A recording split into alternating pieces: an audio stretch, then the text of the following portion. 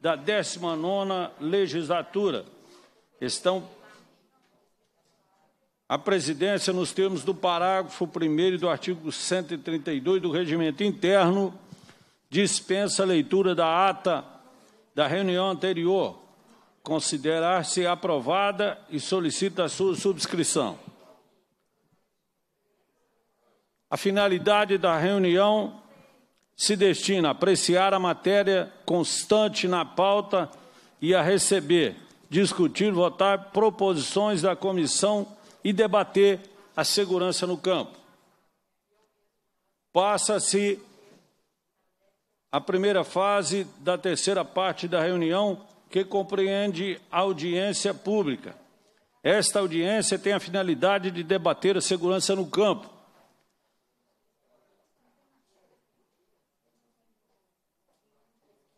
A presidência. Tá. Tá bom. A presidência convida a tomar assento à mesa os seguintes convidados. Primeiro, quero agradecer a presença do deputado Antônio Carlos Arantes, um guerreiro por muitos e muitos anos em defesa do homem do campo em defesa da propriedade, em defesa daquele setor produtivo e das pessoas que realmente trabalham é, na produção de alimentos e na construção de empregos e renda no setor e na zona rural. É, a presidência convida a tomar assento na mesa a senhora Helenice Cristina Batista Pereira, coordenadora da assessoria de gestão e estratégia da Polícia Civil. Ela representa aqui o doutor Joaquim Francisco Neto e Silva, chefe da Polícia Civil. José Luiz Quintão Tavares, delegado de polícia, representando o senhor Superintendente de Investigação e Polícia Judiciária, Dr. Márcio Nabac. Renato Soares de Freitas. Deve estar tá em. Ele não está aqui. Tá. Tá bom. Esses dois não estão, não.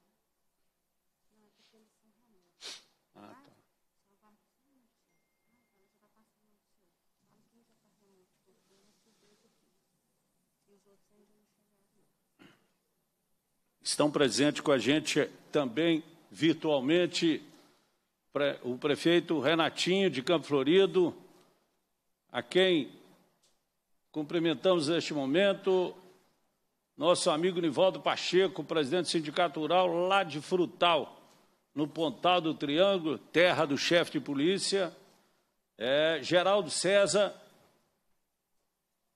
Estou olhando aqui, gente, os que for aparecendo, nós vamos anunciando aqui, viu, Geraldo?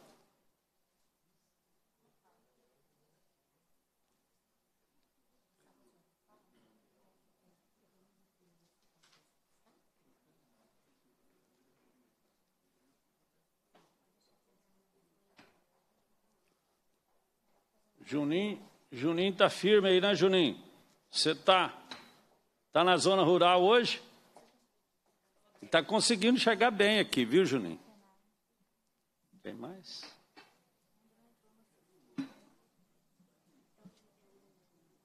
Daqui.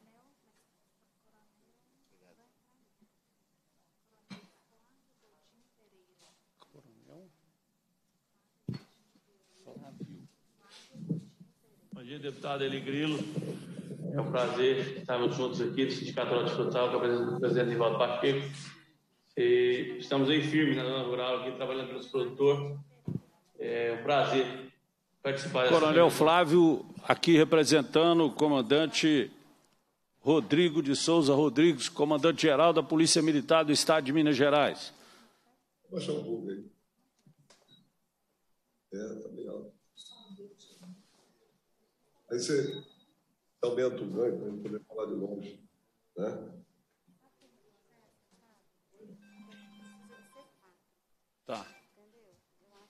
Ah, dá para vir aqui. Vem cá. Só um. Vamos, chega um pouquinho para lá. Fica aqui. Dar tudo certo. A questão é bom senso hoje. Ah, tá.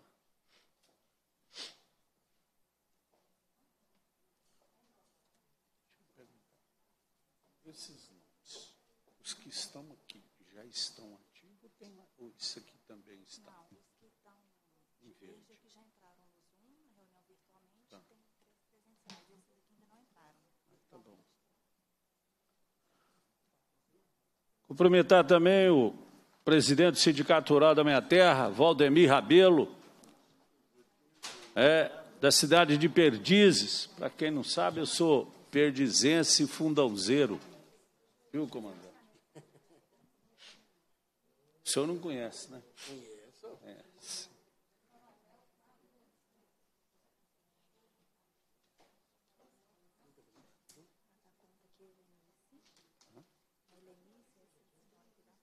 Tá.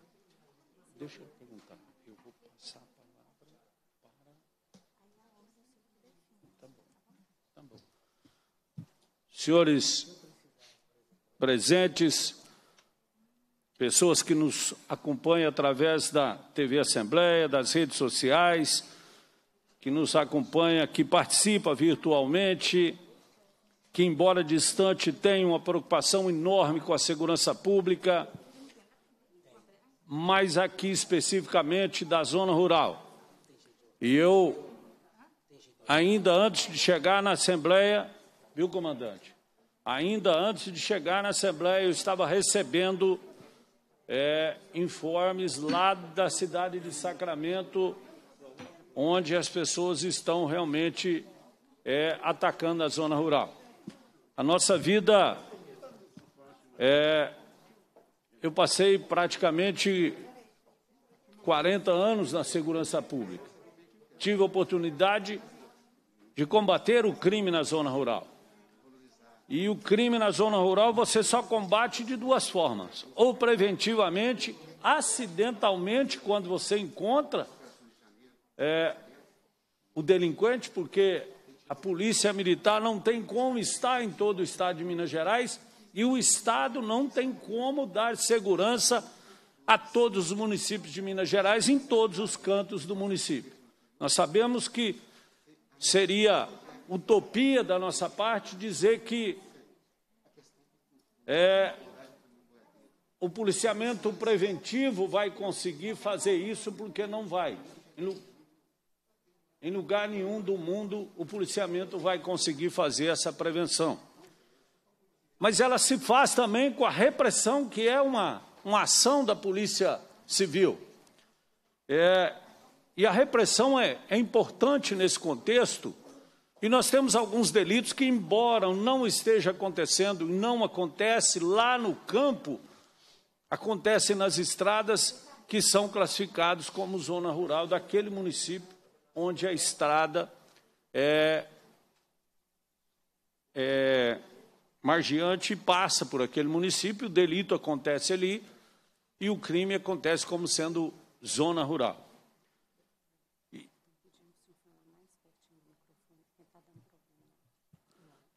Tá, e o. Espero que tenha melhorado. E, e a repressão, senhores delegados, doutor e doutora que aqui estão, é, sabe muito bem que não se dá para fazer segurança pública com uma coisa só. São, é um conjunto de ações da Polícia Militar, da Polícia Civil, é, do setor público, de atendimento, de iluminação, de câmeras de monitoramento. E aconteceu no, em Minas Gerais, em todo o Brasil, o quê? O setor urbano passou a ser muito protegido, através de olhos, de câmeras, de policiais ostensivamente, e eles e a delinquência, os bandidos resolveram ir para a zona rural, onde a vulnerabilidade é muito maior e a dificuldade de defender o patrimônio também é imensa. Eu me lembro, senhor delegado, senhora delegado e comandante, ah, ainda na ativa, no final da minha carreira, nós tivemos em 2011 e 12 136 ocorrências de assalto a ônibus no Triângulo Mineiro e Alto Paranaíba. Foi formada uma força-tarefa, participou na primeira reunião o coronel Crovato, que o senhor deve conhecer, lá de Uberlândia, e eu fui incumbido de comandar essa força-tarefa. Seis meses depois, nós prendemos aproximadamente 35 assaltantes na região de Uberlândia, Três Ranchos, Catalão, naquela região, principalmente Uberlândia. No ano seguinte, caiu para seis ocorrências. De 136, caiu para seis. Uma demonstração clara de que um conjunto de ações se faz necessário para diminuir a criminalidade. E o homem do campo não dá mais conta. A minha região do Triângulo Mineiro e Alto Paranaíba, todos os dias eu recebo uma mensagem no telefone pedindo socorro. A princípio discutia-se a formação, conversei com o chefe de polícia, doutor Joaquim, a formação é, e a criação de, alguns, de algumas delegacias estratégicas de combate ao crime na zona rural. E essa conversa, ela deu uma paralisada, é, mas nós vamos voltar a discutir isso com a chefia da Polícia Civil e, é claro, com o Comando Geral, Coronel Rodrigo, para ver de que forma nós podemos é, melhorar essa questão. Eu gostaria de dizer, e mais ou menos da forma de que vamos tocar a comissão da seguinte forma. Nós vamos abrir a palavra para aqueles que estão aqui que é o, o, o coronel Flávio. É, eu não sei se vai usar a doutora. Desculpe. Doutora Helenice. É, e depois nós vamos discutir também e colocar a palavra para o doutor, que, que é um, um, um trabalhador, já deve ter trabalhado em combate à crime na rural, porque a delegacia comandada pelo Dr. Márcio Nabac, que hoje está na CIP, comandou ela muito bem durante um período.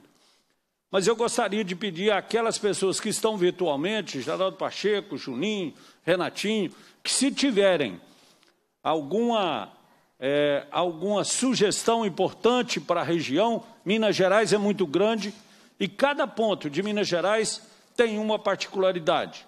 E talvez naquela localidade precise mais de um tipo de ação do que de outro. Né? Então, quero, em primeiro momento, passar a palavra ao comando, ao Coronel Flávio, para que ele possa fazer a parte da Polícia Militar. Quero. Eu, eu, eu gostaria de, de pedir também a questão do tempo, porque nós estamos com uma votação lá no plenário que começa às 10 horas, que é muito importante e que eu tenho que participar dessa votação. São coisas que decidem a vida dos mineiros e nós não queremos ficar fora disso. De decidem vidas de policiais, civis e militares, policiais penais, socioeducativos, e, e tanto eu como o deputado Antônio Caes Arantes temos que estar participando. Passo a palavra ao Coronel Flávio para fazer a, a sua fala.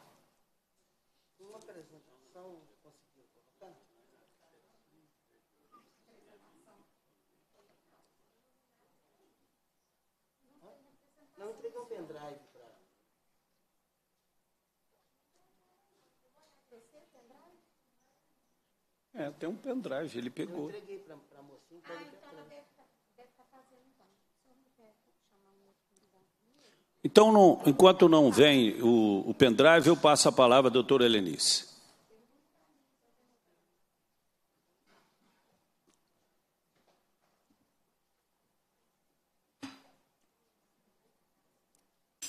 Olá, bom dia a todos.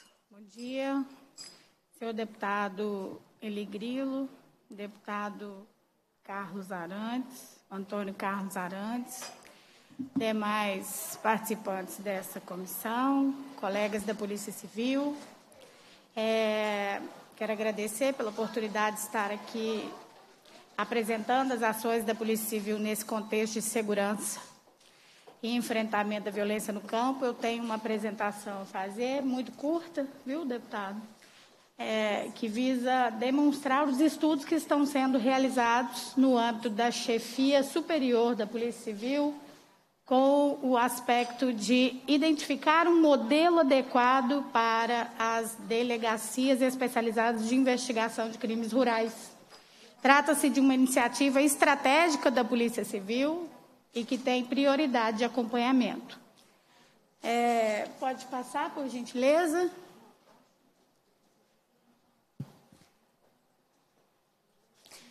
Pois bem, nós sabemos aí da necessidade de enfrentamento à questão relacionada à zona rural. A Polícia Civil está muito atenta a essas questões.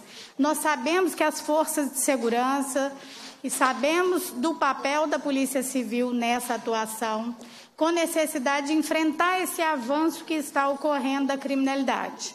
O que nós percebemos no âmbito da Polícia Civil, com base nos dados estatísticos de acompanhamento que são feitos sistematicamente, é que, de fato, a violência que antes era tida como caracteristicamente urbana passa para aspectos rurais.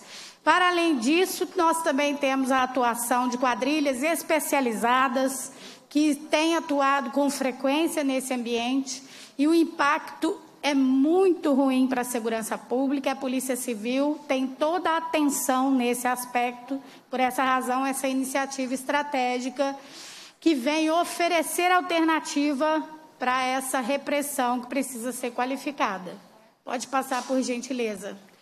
Só a título de demonstração, eu trago aqui para os senhores essa linha do tempo que demonstra aí a iniciativa estratégica da Polícia Civil para a repressão à violência do campo, que envolve a definição de um modelo para delegacias especializadas de investigação de crimes rurais que deverão ser implantadas no estado de Minas.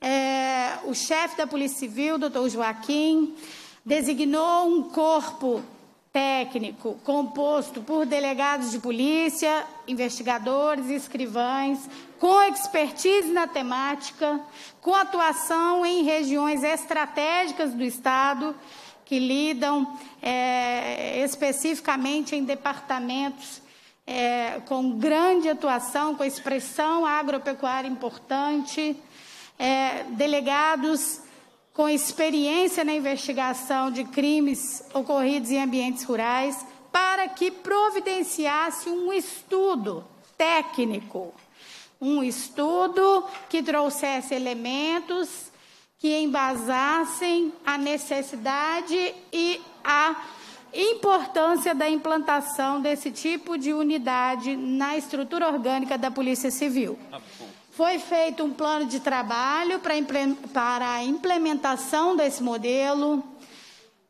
A primeira iniciativa adotada por esse grupo de trabalho designado pelo senhor chefe da Polícia Civil foi realizar o diagnóstico das nossas unidades policiais especializadas para investigação de crimes rurais, que hoje a Polícia Civil conta na sua organização, na sua estrutura organizacional, com três unidades já definidas.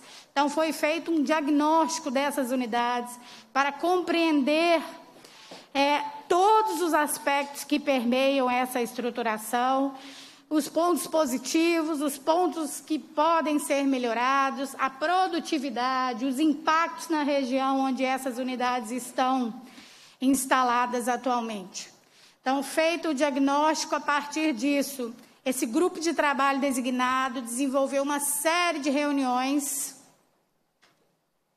é, que foram reuniões de acompanhamento, reuniões intermediárias, até que providenciamos a elaboração desse estudo para a criação ou expansão dessas delegacias de crimes rurais no âmbito do Estado. Qual é o status do estudo? O status deste estudo é com relatório conclusivo já apresentado e estamos na fase de validação do modelo apresentado como proposta para a criação das unidades especializadas em investigação de crimes rurais no Estado. É, pode passar, por gentileza. No que tange ao diagnóstico das nossas unidades especializadas em crimes rurais, pode passar, por gentileza. Atualmente, como eu disse, nós temos três unidades especializadas na estrutura orgânica da Polícia Civil que são dedicadas à investigação de crimes rurais, que são atualmente a Delegacia Especializada de Uberlândia, de Investigação de Crimes Rurais em Uberlândia, a Delegacia Especializada com atuação em Araxá e a nossa Delegacia de Repressão a Crimes Rurais que é o DEICRA no DEUESP, que o doutor José Luiz Quintão, que aqui se faz presente, é o titular da unidade, atua. Trata-se de uma unidade especializada de atuação é, em todo o Estado, que visa a repressão e a investigação de crimes ocorridos em ambientes rurais, crimes de maior repercussão, crimes que envolvem é, quadrilhas especializadas, investigações de larga escala e as outras unidades que existem já mais em ambiente territorial. No aspecto da delegacia de Uberlândia, ela é a nossa delegacia especializada de investigação em crimes rurais mais antiga existente na estrutura da Polícia Civil. A criação dela se deu lá no ano de 2000 mas é uma unidade que ainda precisa de estruturação, precisa de adaptações em aspectos é, de estruturação logística, de pessoal, de protocolos, mas ela tem refletido resultados positivos. Eu trouxe aqui para os senhores só uma amostragem dos dados que foram compilados considerando aí os anos de 2019 e 2020, onde que nós temos que a delegacia de Uberlândia, só nesse último período, representou por mais de 20 é, representações ao Poder Judiciário, realizou 41 prisões, foram 37 operações realizadas, operações policiais em zona rural, Tivemos lá no âmbito desta unidade 86 inquéritos policiais concluídos, relatados, com identificação de autores, organizações criminosas, encaminhados em juízo para as providências devidas no âmbito do sistema de justiça. Aqui, só a título de exemplo, algumas reportagens divulgadas aí pela imprensa que dizem especificamente aí a atuação da delegacia de Berlândia. Nós temos ali um grupo preso, suspeito de roubar diversas propriedades rurais no Triângulo Mineiro. Também temos ali um segundo momento, que é a atuação da delegacia especializada, prendendo também suspeitos relacionados a roubos em fazendas da região, sendo essas as maiores vulnerabilidades identificadas, principalmente relacionadas aos crimes contra o patrimônio. Pode passar, por gentileza. Em seguida, apresentando aqui, de forma bem geral, tá? só a título de amostragem, a atuação da nossa Delegacia Especializada em Investigação e Repressão de Crimes Rurais, a DEICRA, que hoje é subordinada ao nosso Departamento Estadual, né, o DEUESP, vinculada à Superintendência de Investigações e Polícia Judiciária da Polícia Civil. Trata-se, como eu disse, de uma unidade policial que possui atuação estadual na investigação de crimes de maior repercussão, crimes contra o patrimônio ocorridos em ambientes de zona rural, tá? A criação dessa unidade é relativamente recente. Ela foi instituída formalmente em 2018, através da Resolução 8004 da Polícia Civil, definindo ali a atribuição e a estrutura dessa unidade. Trata-se de uma delegacia com grande atuação no Estado na investigação de crimes relacionados ao, à, à ofensa ao patrimônio praticados em zona rural é uma unidade, se comparada às demais, de certa forma, melhor estruturada, com equipes com atuação exclusivas, que viajam o estado inteiro, que coordenam e relacionam fatos ocorridos em mais de um ambiente, Então, é uma, são investigações de larga escala, de maior complexidade, que são as desenvolvidas pela DEICRA. Só a título de amostragem, nesse último período aí, compilado, até a data da organização desses dados, a, a DEICRA já tinha providenciado mais de 46 representações junto ao Poder Judiciário, representações por prisão, representações por mandados de busca e apreensão, situações que aí diretamente impactam é, na realização das investigações e nos resultados positivos. A DEICRA também, só nesse período organizado, já providenciou mais de 41 prisões. Foram realizadas 41 prisões de autores, repito, de autores de alto grau de periculosidade, considerando que a DEICRA investiga casos de maior repercussão. Essas prisões certamente impactam na relação dos fatos que posteriormente ocorrem no sentido de melhorar os índices. Foram 34 operações realizadas pelo DEICRA e um ponto muito relevante que é importante destacar no que tange a atuação dessa unidade é com relação aos produtos de furto e roubo recuperados. Já se somam em mais de 5 milhões de produtos de furto e roubo recuperados pela delegacia especializada nessas investigações realizadas no âmbito do Estado. Ali também tra é, trazemos para os senhores alguns recortes da imprensa, onde demonstra a atuação da DEICRA em várias regiões do Estado, na Zona da Mata, regiões de região metropolitana aqui em Belo Horizonte, regiões mais ao interior, em Dores de Guanhães, diversos municípios. Pode passar, por gentileza. Em seguida, nós apresentamos aqui a Delegacia Especializada de Investigação de Repressão a Crimes da Zona Rural de Araxá. Também é uma unidade recentemente instituída, criada aí com data de criação em 2019. É uma unidade que tem atuação também em crimes patrimoniais ocorridos em zonas rurais, mas relacionada à região da sua atuação. É, é uma unidade que tem é, importantes resultados, apesar do período muito pequeno de criação.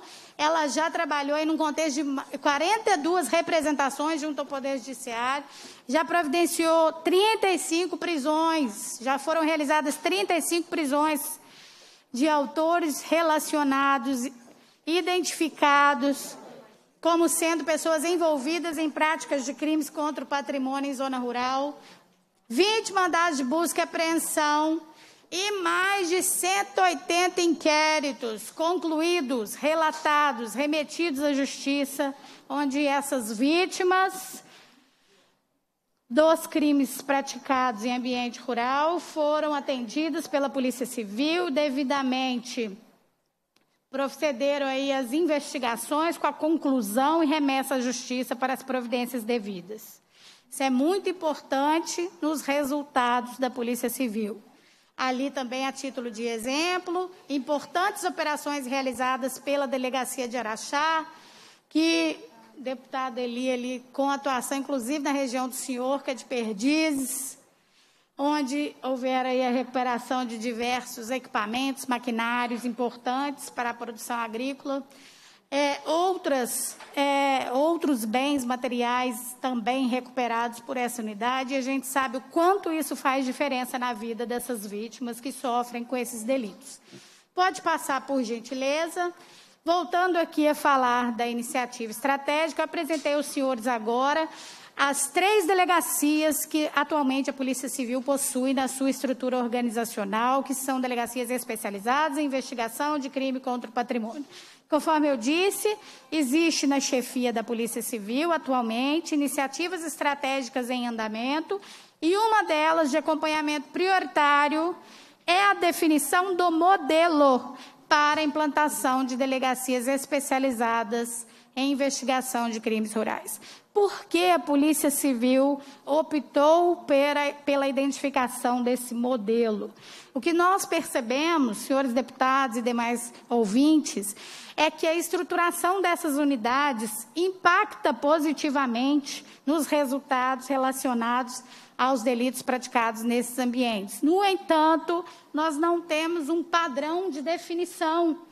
Essas unidades, em que pesem e apresentem semelhanças quanto à atribuição investigativa, todas elas estão relacionadas ao crime contra o patrimônio, elas têm diferenças nos seus escopos. Por exemplo, local de atuação, a estruturação física é diferente, a estruturação de pessoal é diferente. O que a Polícia Civil procura com a iniciativa estratégica é definir um modelo para que todas as nossas unidades especializadas em investigação de crimes rurais tenham um padrão de excelência que seja o adequado para enfrentamento da violência no campo.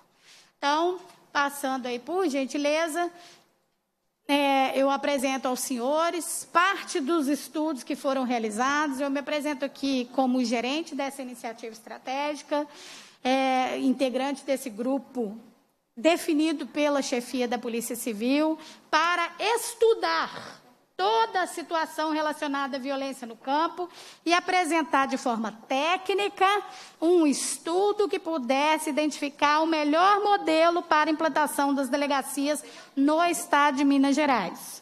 A preocupação da chefia da Polícia Civil é que esse estudo seja técnico, que demonstre de forma documentada e fundamentada em dados a importância dessa atuação, tá? Então, o que que nós trabalhamos como metodologia, só a título de amostragem, de forma bem geral aos senhores? Trabalhamos aqui com análise de situações congêneres desse tipo de unidade em todas as unidades da federação.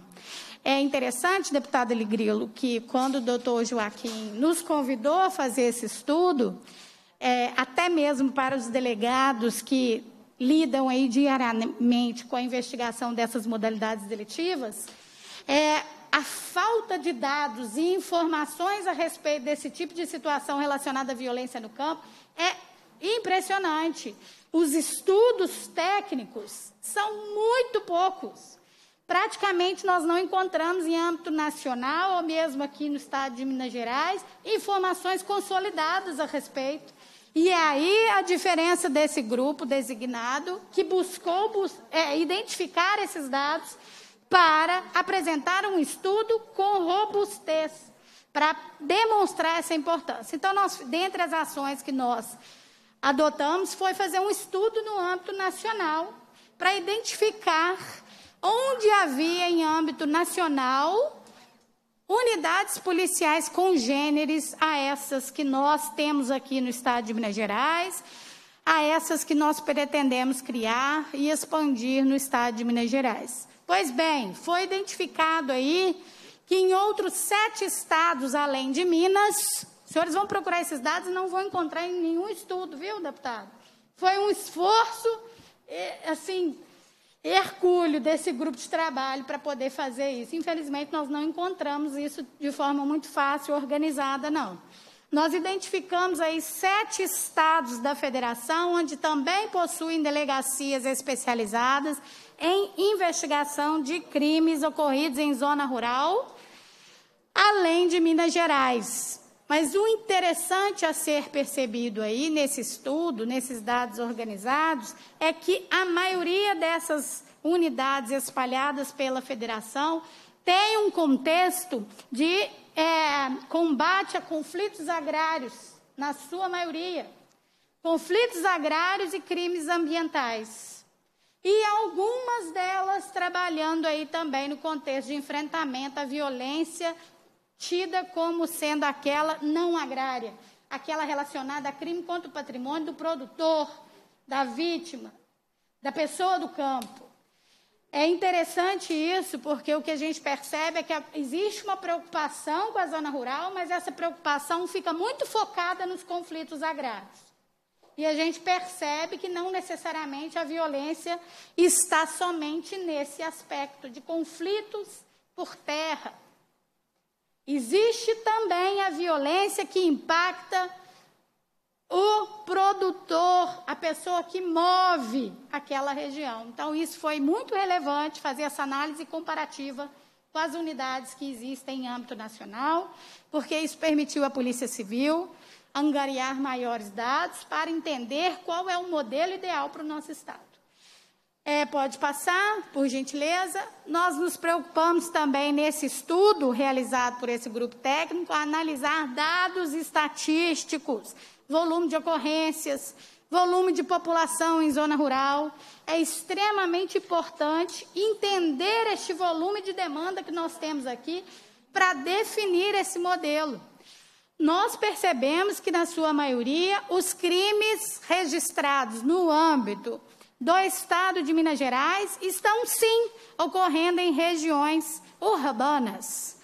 Mas quando nós avaliamos o volume de ocorrências em zonas rurais, nos chama atenção e destaca a importância dessa temática. Eu quero fazer só um, uma ressalva com relação a esses gráficos que estão sendo apresentados aqui no sentido de que esse grupo visou fazer um levantamento estatístico que pudesse avaliar de forma espacial e histórica o movimento dos registros de ocorrência em zona urbana e zona rural. Por que histórico? Nós estamos vivendo um período de pandemia e todos nós que acompanhamos a segurança pública sabemos que houve, de certa forma, uma queda nos registros de ocorrência em razão desse fenômeno aqui vivido pelo país e pelo mundo. É, então, nós procuramos fazer um recorte que pudesse observar os anos anteriores à situação de pandemia e a, a situação atual. Para quê? Para que a gente pudesse ter uma maior realidade.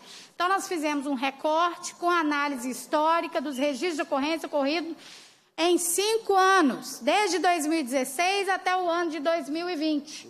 E nós identificamos ali ocorrências registradas em ambiente rural. Já se somam mais de 283. 283 mil ocorrências em zona rural no estado de Minas Gerais. Então, quando a gente para para olhar isso, a gente sabe que a maioria está em zona urbana, mas quando você olha esse número de 283 mil ocorrências praticadas em zona rural, você identifica a importância da temática e percebe a necessidade de atuação das forças de segurança de fato. Fazendo um recorte ainda maior, a gente percebe aí que dessas ocorrências, dessas 283 mil ocorrências registradas em zona rural, a maioria delas é relacionada ao crime contra o patrimônio. A maioria delas, a gente tem uma média de 25% desse volume total, só crime contra o patrimônio ocorrido em zona rural. Os demais são várias outras modalidades delitivas, algumas com muito pouca incidência, mas a sua maioria está relacionada ao crime contra o patrimônio. Isso demonstra, direciona a atuação dessas forças de segurança, identificando o problema que precisa ser enfrentado. Além disso, senhores, esse estudo buscou verificar a população em zona rural, identificar a distribuição demográfica das pessoas no nosso estado, dividido por regiões, para que seja possível perceber quem é o nosso público-alvo.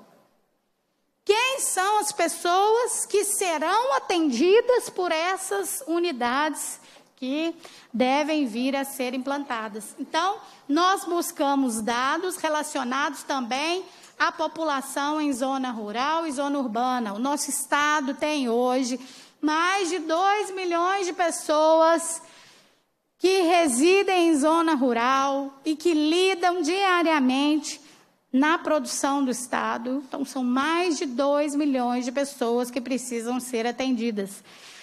Esse foi um dado relevante buscado por esse estudo que está sendo apresentado. Pode passar, por gentileza? Doutora, só para. Eu gostaria que a senhora fosse. Porque nós temos. Mais rápido. É, tá, já foram 20 minutos Sim, e é o tempo que nós. Perfeitamente. Considerando todos os dados que nós identificamos nesse estudo, A Polícia Civil, por meio dessa iniciativa estratégica, apresentou um relatório com um modelo proposto para a implantação das delegacias rurais.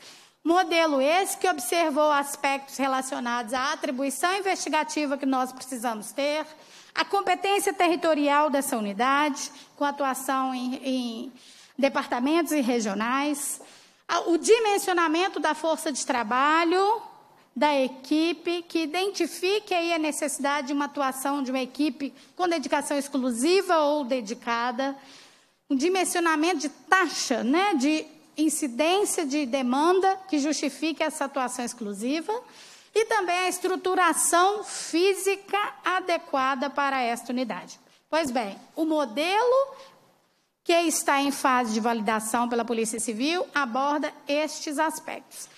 Pode passar, por gentileza, agora encerrando. É, para a implantação ou expansão deste modelo é, que foi estudado, a Polícia Civil também se preocupa com aspectos ou parâmetros, critérios, como queira chamar, que precisam ser observados para esse fim, que estão relacionados à estratégia institucional, é preciso que haja uma adequação ao planejamento estratégico da Polícia Civil. O doutor Joaquim, presente aqui na Assembleia Fiscaliza, deixou claro a iniciativa da Polícia Civil nesse sentido.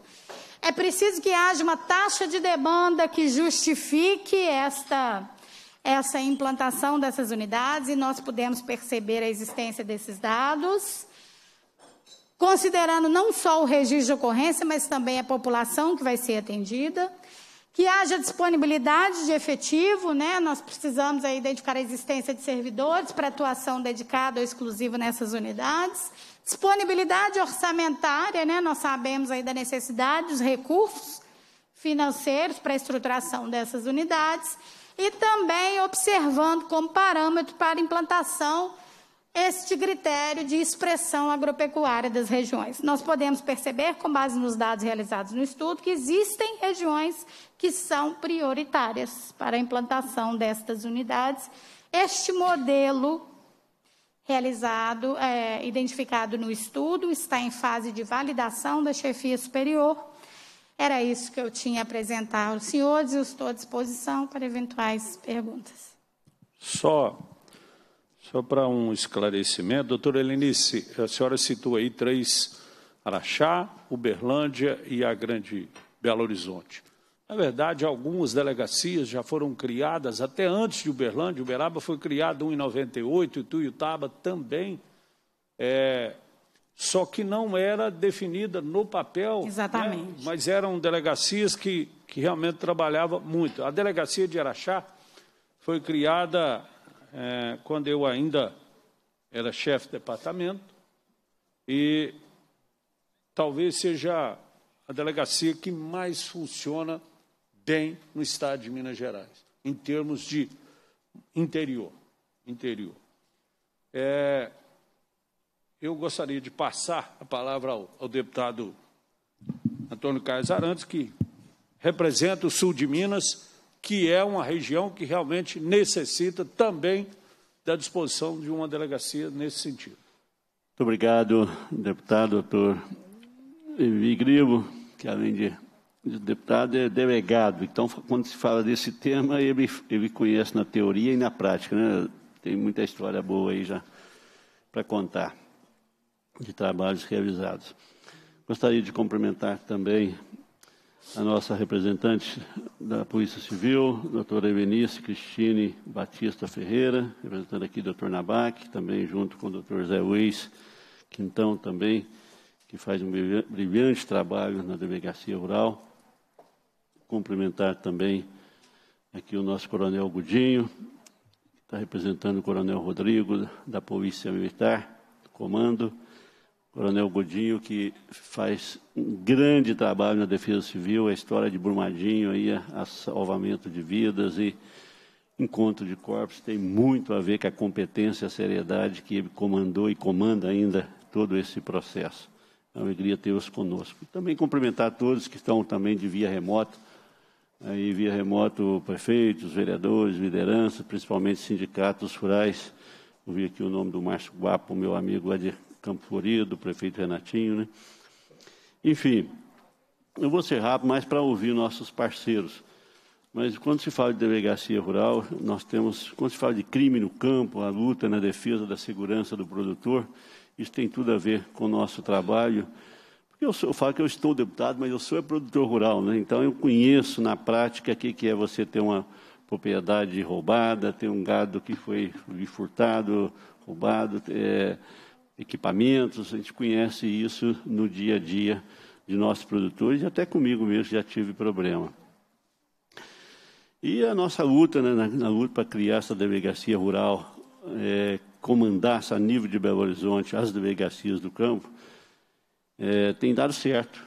O Zé Luiz tem acompanhado muito, né, doutor Zé Luiz? Junto com o doutor Nabac, e eu queria agradecer também ao doutor Joaquim, que tem feito um trabalho importante, tem nos apoiado muito nessa, também nesta defesa, e aonde o Estado, cedendo um espaço ali próximo da Expo Minas, perto da vida, no, da vida aqui ao lado do terreno do DR, um espaço muito bom, aonde lá, se Deus quiser, nós vamos instalar a delegacia rural de Minas Gerais, né, da Vila Doutor Zé Luiz. Vai sair todo o comando para as delegacias. É um espaço interessante, mas estava abandonado, com muito problema. E eu pude, através da nossa liderança, junto com o pessoal da FETSENG, liderado pelo Luciano Medrado, da Minas, o Elcio e o Lu, nosso popular e o presidente da Minas, o Ciami Comário, o Civeng, toda a equipe, e começou com o Zé Antônio, inclusive o Celso lá à frente nos ajudando, é, também o pessoal do Conselho de Contagem, a FAENG, através do Dr. Roberto e do Dr. Francisco Simões, nós estamos viabilizando, deputado Emi, aproximadamente 600 mil reais já à disposição e aonde nos próximos dias já inicia a recuperação de todo aquele espaço. Um espaço fantástico, pois eu gostaria até de que nós pudéssemos ir lá conhecer pessoalmente, eu tenho ido lá sempre. Vai, a delegacia rural vai ficar muito bem instalada e vai ficar independente. Então, ali vai ser rural e também roubo de carga, né, que é muito importante também. Né? E aí eu agradeço mais uma vez aí o Luciano Medrado, que tem também liderado a iniciativa privada para buscar esses recursos. Eu tenho visto e acontecer, visto acontecer e realmente com muitos crimes, muitos prejuízos para os nossos produtores e ao mesmo tempo vejo com felicidade vendo que as coisas agora através do nosso governador Romeu Zema, a sua equipe na Polícia Civil, aí está fazendo a diferença. Então, sob o comando do Dr. Zé Luiz, nós temos visto que muitas quadrilhas estão sendo presas, muitos crimes têm sido ali descobertos, desvendados, né, e muita gente é, saindo, é, sendo tirado aí do dia a dia para assaltar nossos produtores. Eu falo que, coitado do nosso produtor, porque ali está totalmente vulnerável, né?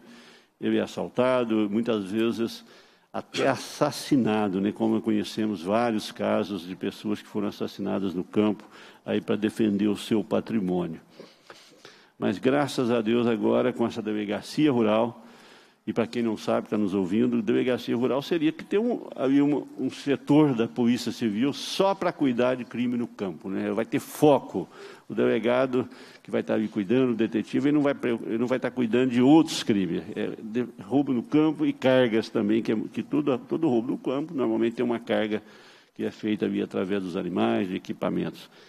Então, eu fico feliz de ver que o nosso trabalho, ali, junto com nossos parceiros, inclusive foi um projeto de lei aqui na Assembleia, aprovado por todos os deputados na época, da criação, é, dando aí identidade mesmo para essa delegacia rural. E agora, o doutor Joaquim colocando no papel o que, que é a, a função mesmo, quais o, ali, o regimento da delegacia rural, como é que vai funcionar. Então, já estamos instalando a primeira em São Sebastião do Paraíso também, já depois desse projeto lá na nossa terra, onde eu resido, cidade querida do Paraíso. E essa delegacia de São Sebastião do Paraíso nós vamos poder atender toda a região, não é só São Sebastião do Paraíso. E lá é divisa de estado, então lá é um dos lugares muito vulneráveis. Né? Então vai poder atender Jacuí, Pratápolis, Cássia, Passos, toda a região de Guaxupé também, Itamogi, Monte Santo, Arceburgo.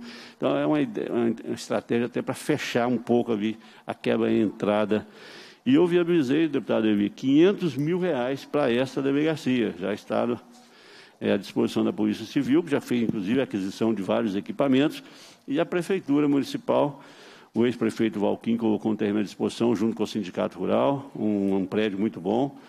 Agora o atual prefeito Marcelo, com apoio da Câmara, está reformando esse prédio. Então, a Delegacia Rural em São Sebastião do Paraíso, para atender a região, logo, logo nós vamos poder inaugurar, né, doutor Zé Luiz? Se Deus quiser, e vai ter um espaço na região para atender ali os nossos produtores e também os nossos transportadores.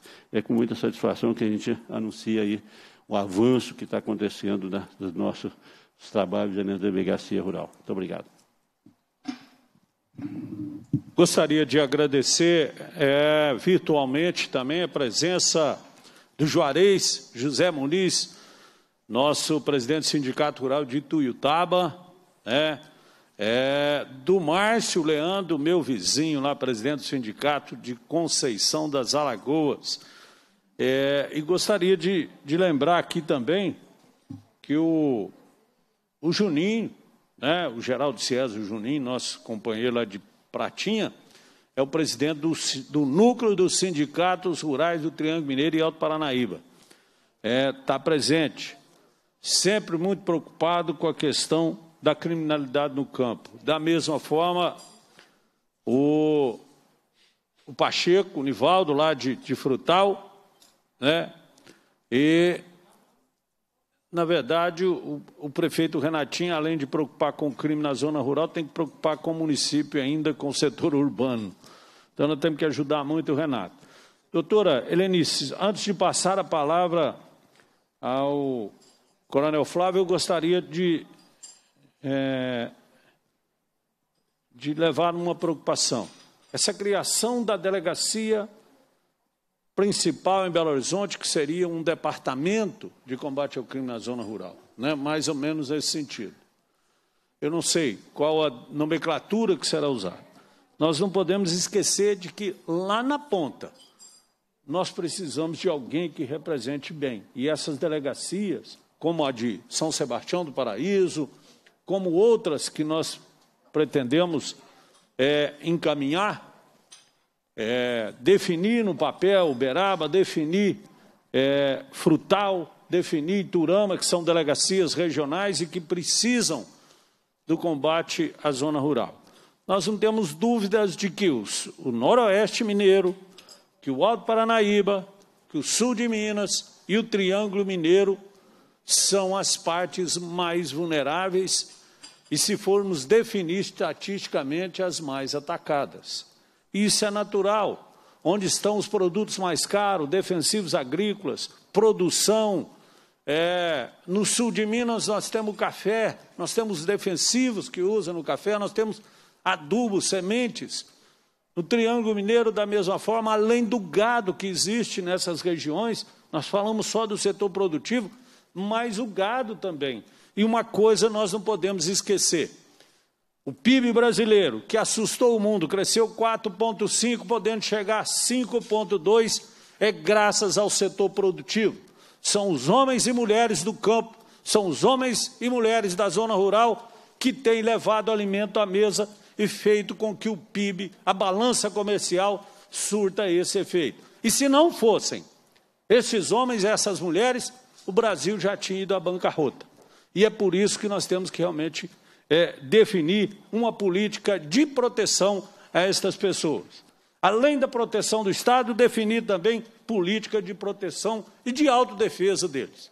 Passa a palavra ao coronel. Dois. Por favor, você coloca a apresentação para mim. Enquanto isso, deputado, gostaria muito de agradecer primeiro o senhor, né, o deputado El Grilo, pela oportunidade, por estar aqui. Aproveitar o momento, não tive essa oportunidade antes, mas de agradecer ao deputado Antônio Carlos Arantes, um apoio irrestrito desta casa através do deputado no momento daquela tragédia de Brumadinho. O senhor sempre esteve com a gente, sempre nos apoiou, sempre é, nos mostrou um caminho a ser seguido, então agradeço ao senhor de público por aquela oportunidade, o apoio que o senhor sempre nos deu. Queria agradecer aqui o doutor José Luiz Quintão e a doutora Helenice Cristina, falar o quanto a Polícia Civil ela é importante nesse processo, o quanto a integração junto com a Polícia Civil, o maior protagonista desse processo todo, que são as pessoas do campo, não se faz se não houver essa integração. E aqui eu deixo todo o meu agradecimento à co-irmã Polícia Civil pelo excelente trabalho que tem sido feito no Estado de Minas Gerais e tem contribuído para a redução criminal junto com a Polícia Militar. Na pessoa aqui do doutor Joaquim, um amigo, um parceiro, e o doutor Nabac também, que a gente tem vários frentes de trabalho junto, e eu deixo o meu agradecimento à co-irmã. Doutor Hélio Grilo, Hélio Grilo, a gente, eu vou corroborar com as palavras que o senhor acabou de falar, só antes da gente começar com a apresentação, para que todos saibam, o agronegócio ele foi responsável por 43,5% de todo o faturamento do Estado de Minas Gerais no ano passado. Nós estamos falando num valor bruto de produção de 9,6 bilhões, um aumento de 27% em relação a 2019. Nós temos mai, o maior volume da história de Minas Gerais em exportação, 2,5 milhões de toneladas, num montante de 8,7 bilhões de dólares. Esse é o fechamento através da Agência Minas do agronegócio em Minas Gerais. Aliado a isso, quando eu tenho uma grande produção, eu tenho crédito no campo. E aí, outro fato que é de suma importância foi a destinação aos produtores rurais, também de forma recorde, num total de 24,76 bilhões em Minas Gerais. Ou seja, um aumento de 15% a mais de, de crédito para o produtor rural. Ou seja, se eu tenho uma produção rural grande, se eu tenho um incentivo, eu tenho que proteger esse povo. Eu tenho que fazer uma proteção para esse povo de forma diferenciada. E aqui, deputado, não me importa se eu estou protegendo o grande produtor, o mega produtor, ou o pequeno produtor que tem três cabeças de gado. Porque se ele perder as três cabeças de gado, talvez para ele vai ser muito pior do que um grande produtor que perder uma quantidade talvez até maior. Porque aquelas três cabeças de gado têm para ele uma significância muito grande. Então, nós temos que prestar segurança para o pequeno produtor, também para o grande produtor, da mesma forma.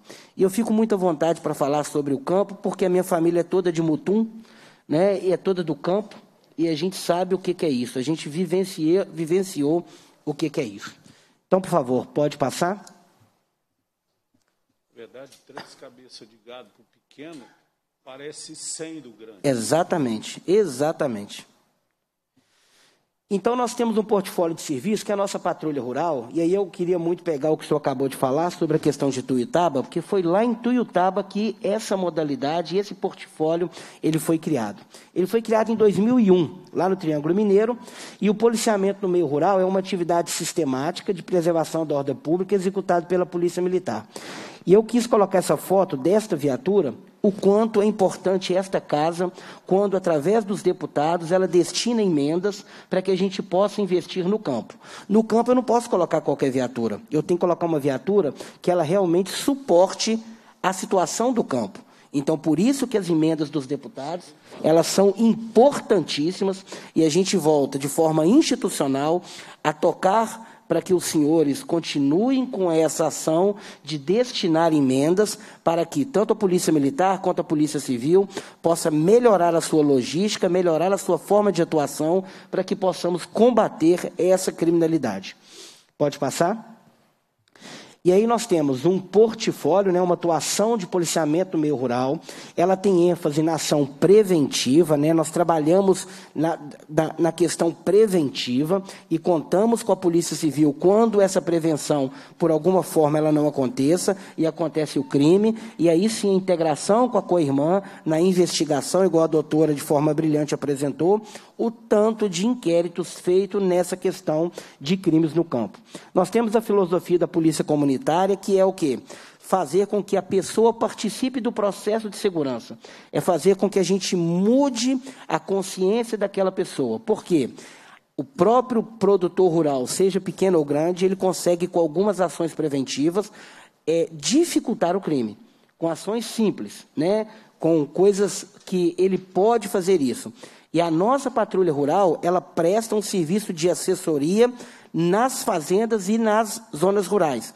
Quando o policial militar ele vai visitar aquele pequeno produtor, ele presta para ele uma assessoria de segurança, falando para ele onde que é o ponto mais vulnerável naquela propriedade dele. Então a gente tem feito isso também. Prevenção, é, ela é um patrulhamento ostensivo, rotineiro e sistêmico, porque ele não para, ele continua. É uma prevenção às ações delituosas e a gente trabalha de ação de forma antecipada à ocorrência de crimes. Pode passar? Essa matéria é tão importante que o nosso maior documento institucional, que é o nosso plano estratégico, ele prevê no seu objetivo 02 contribuir para a melhoria da sensação de segurança no Estado, através da iniciativa 2.2, consolidar a segurança no meio rural. Então, o amadurecimento institucional através de um plano estratégico robusto e amadurecido, ele foi escrito quanto é importante. No início da minha fala, eu falei o quanto o Estado cresceu em função do agronegócio. E nossas instituições têm que crescer na mesma velocidade, talvez um passo mais à frente, nesse crescimento, prestando segurança. Pode passar? Investimento no policiamento rural. Então, deputado, com esse apoio que esta casa e também é, é, a Casa Federal também tem destinado à nossa instituição, nós conseguimos 77 caminhonetes entregues em 2021 para 71 cidades de médio e pequeno porte, 306 viaturas né, em 251 cidades de médio porte, 36,5 milhões de reais investidos somente em 2021 no campo. Isso graças ao apoio que os senhores têm dado digitalização da rede de rádio em todo o território mineiro. Isso é muito importante. Inclusive, o senhor agora vai participar de uma votação agora, que ela é muito importante para a Polícia Militar e para a Polícia Civil, e um dos nossos projetos é a digitalização da rede de rádio. Por quê? Em locais de zona rural, nem celular funciona. Nem celular funciona. E o policial militar e o policial civil, eles precisam ter uma rede de rádio, o seu HT, o rádio da viatura, que ele possa comunicar em qualquer lugar para dar segurança para o homem do campo e até para o policial militar e para o policial civil também. Então, isso é um investimento que a gente conta com o apoio dos senhores também. Pode passar? A polícia militar não para. Né? O nosso home office foi na rua. O período todo de pandemia, nós não paramos em momento nenhum, em várias frentes, seja na distribuição de vacina e seja na valorização do homem do campo. E as ações e os resultados, eles têm sido apresentados. Pode passar? Resultados em 2021. Só no primeiro semestre, a Patrulha Rural contou com o lançamento de pelo menos 142 viaturas por dia nós estamos falando de um estado de 853 municípios com o tamanho de uma França, em que nossa zona rural ela é imensa. Como o senhor disse, nós não conseguimos estar ao mesmo tempo em todos os locais. Por isso, nós optamos por um trabalho de indicadores para verificar em qual local nós devemos estar e em qual hora.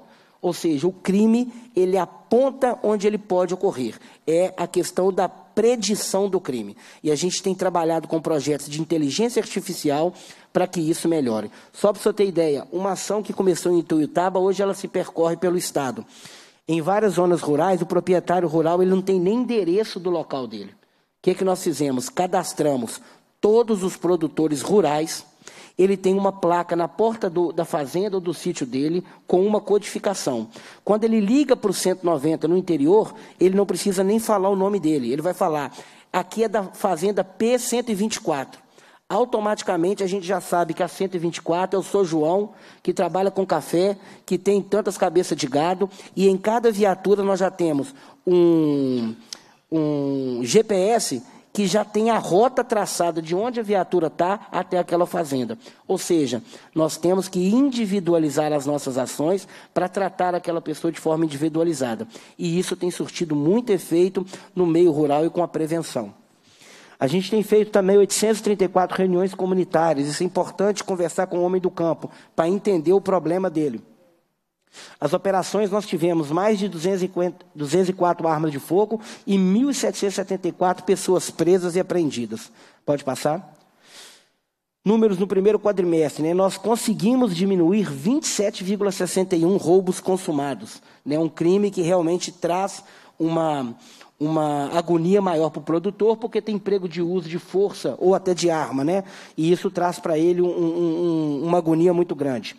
Furto em propriedade rural, conseguimos diminuir 11,87. Pode passar? E esse ano nós implementamos a Operação Campo Seguro, que eu já, de, de público, eu já também é, anuncio para os senhores que no próximo mês a gente está fazendo a Campo Seguros 2. Só para o senhor ter ideia, lá em Patos de Minas, a Polícia Civil apreendeu numa ação conjunta com a gente 70 cabeças de gado. Era a única coisa que o produtor rural tinha. E ele ia perder tudo. E graças ao trabalho da Polícia Civil, ela conseguiu recuperar essas 70 cabeças de gado. Aqui próximo, nós tivemos uma recuperação de 4 milhões de soja que foi, furta, foi furtada. Conseguimos recuperar. E várias outras ocorrências no campo. Pode passar? Em cinco dias de operação dessa Campo Seguro, nós tivemos 15.403 operações realizadas, 128 autores de crimes presos, 226 autores de furtos presos e 204 mandados de prisão e apreensão cumpridos. Volto a dizer, o sucesso da operação é integração. E aí nós integramos com a Polícia Civil, com o Ministério Público e com o Judiciário para que a gente tivesse toda a persecução criminal concluída e dado segurança a essas pessoas. Ou seja, o nosso foco é na prevenção criminal e no aumento da sensação de segurança na área rural. Pode passar, estou terminando. Aqui eu trouxe para os senhores não só alegria, né? Nós temos também aumento de crime de roubo em algumas localidades. E por que, que eu trouxe isso? É para falar para os senhores que nos locais onde estão vermelho, nós estamos trabalhando veementemente para torná-los verde. Ou seja, nós tivemos, em comparação com 2020 e 2021, se nós olharmos o estado de Minas Gerais, de 579 roubos para 473. Nós conseguimos diminuir. Mas nós temos algumas regiões, como Unai, Pouso Alegre, Postos de Caldas, Santa Luzia e Juiz de Fora, e Contagem, nós tivemos um aumento um aumento de alguns crimes, mas que é aumento e cabe uma reflexão para que a gente possa trabalhar para melhorar esses números e isso tem sido feito. Pode passar? Nossa política de atuação é o combate sistemático ao crime de furto e roubo, principalmente de insumos agrícolas. Deputado, só para que o senhor saiba, e eu tenho certeza que o senhor e o deputado Antônio Carlos conhecem muito essa realidade, o valor agregado de um insumo agrícola é muito caro. E o que é que nós temos feito? Como alguns fazendeiros, eles não permanecem com insumo agrícola na fazenda, ele cria um consórcio, ele coloca em determinado galpão, quando ele vai fazer esse deslocamento com esse insumo agrícola para a fazenda, nós fazemos para ele uma segurança do trajeto. Então ele comunica para a polícia, a polícia coloca as viaturas nos locais onde ele vai fazer deslocamento, para que ele tenha segurança para transportar esse material que ele é muito caro. Realização de blitz sanitários, aqui nós temos a nossa Polícia do Meio Ambiente, que faz um trabalho também de blitz sanitárias junto com a Polícia Rodoviária Estadual. Quando a gente utiliza da Operação Campo Seguro, a gente faz os, as visitas nas fazendas e utiliza a Polícia do Meio Ambiente para blitz no interior das cidades e a Polícia Rodoviária Estadual nas rodovias, para verificar se aquele gado que está transportando ele tem nota fiscal, ele realmente foi vendido, ou se ele é furtado ou roubado, e aí é uma operação bem completa prevenção dos crimes contra a economia, saúde do bem-estar do campo, fiscalização do comércio e uso de defensivos agrícolas, porque a gente vai nas lojas para verificar se aquele material ele é falsificado, que está acontecendo demais agora, defensivo agrícola falsificado, e se aquele material ele foi furtado e está sendo revendido. Então a Polícia do Meio Ambiente ele faz esse trabalho e quando detecta a gente passa para a Polícia Civil que faz um trabalho de investigação e a gente conclui todo o processo potencializar a atuação de mobilização social nas redes de proteção. A gente criou, como aqui na, como a doutora falou, né, dos crimes na área urbana, nós temos essa questão do crime rural. Na área urbana nós temos a rede de vizinhos protegidos.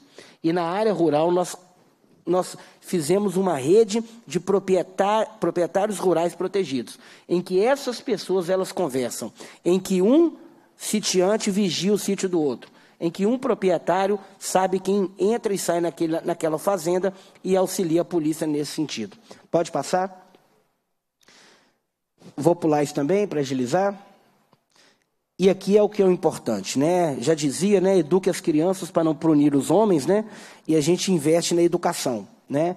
E na educação nós tivemos somente no primeiro semestre 316 militares capacitados.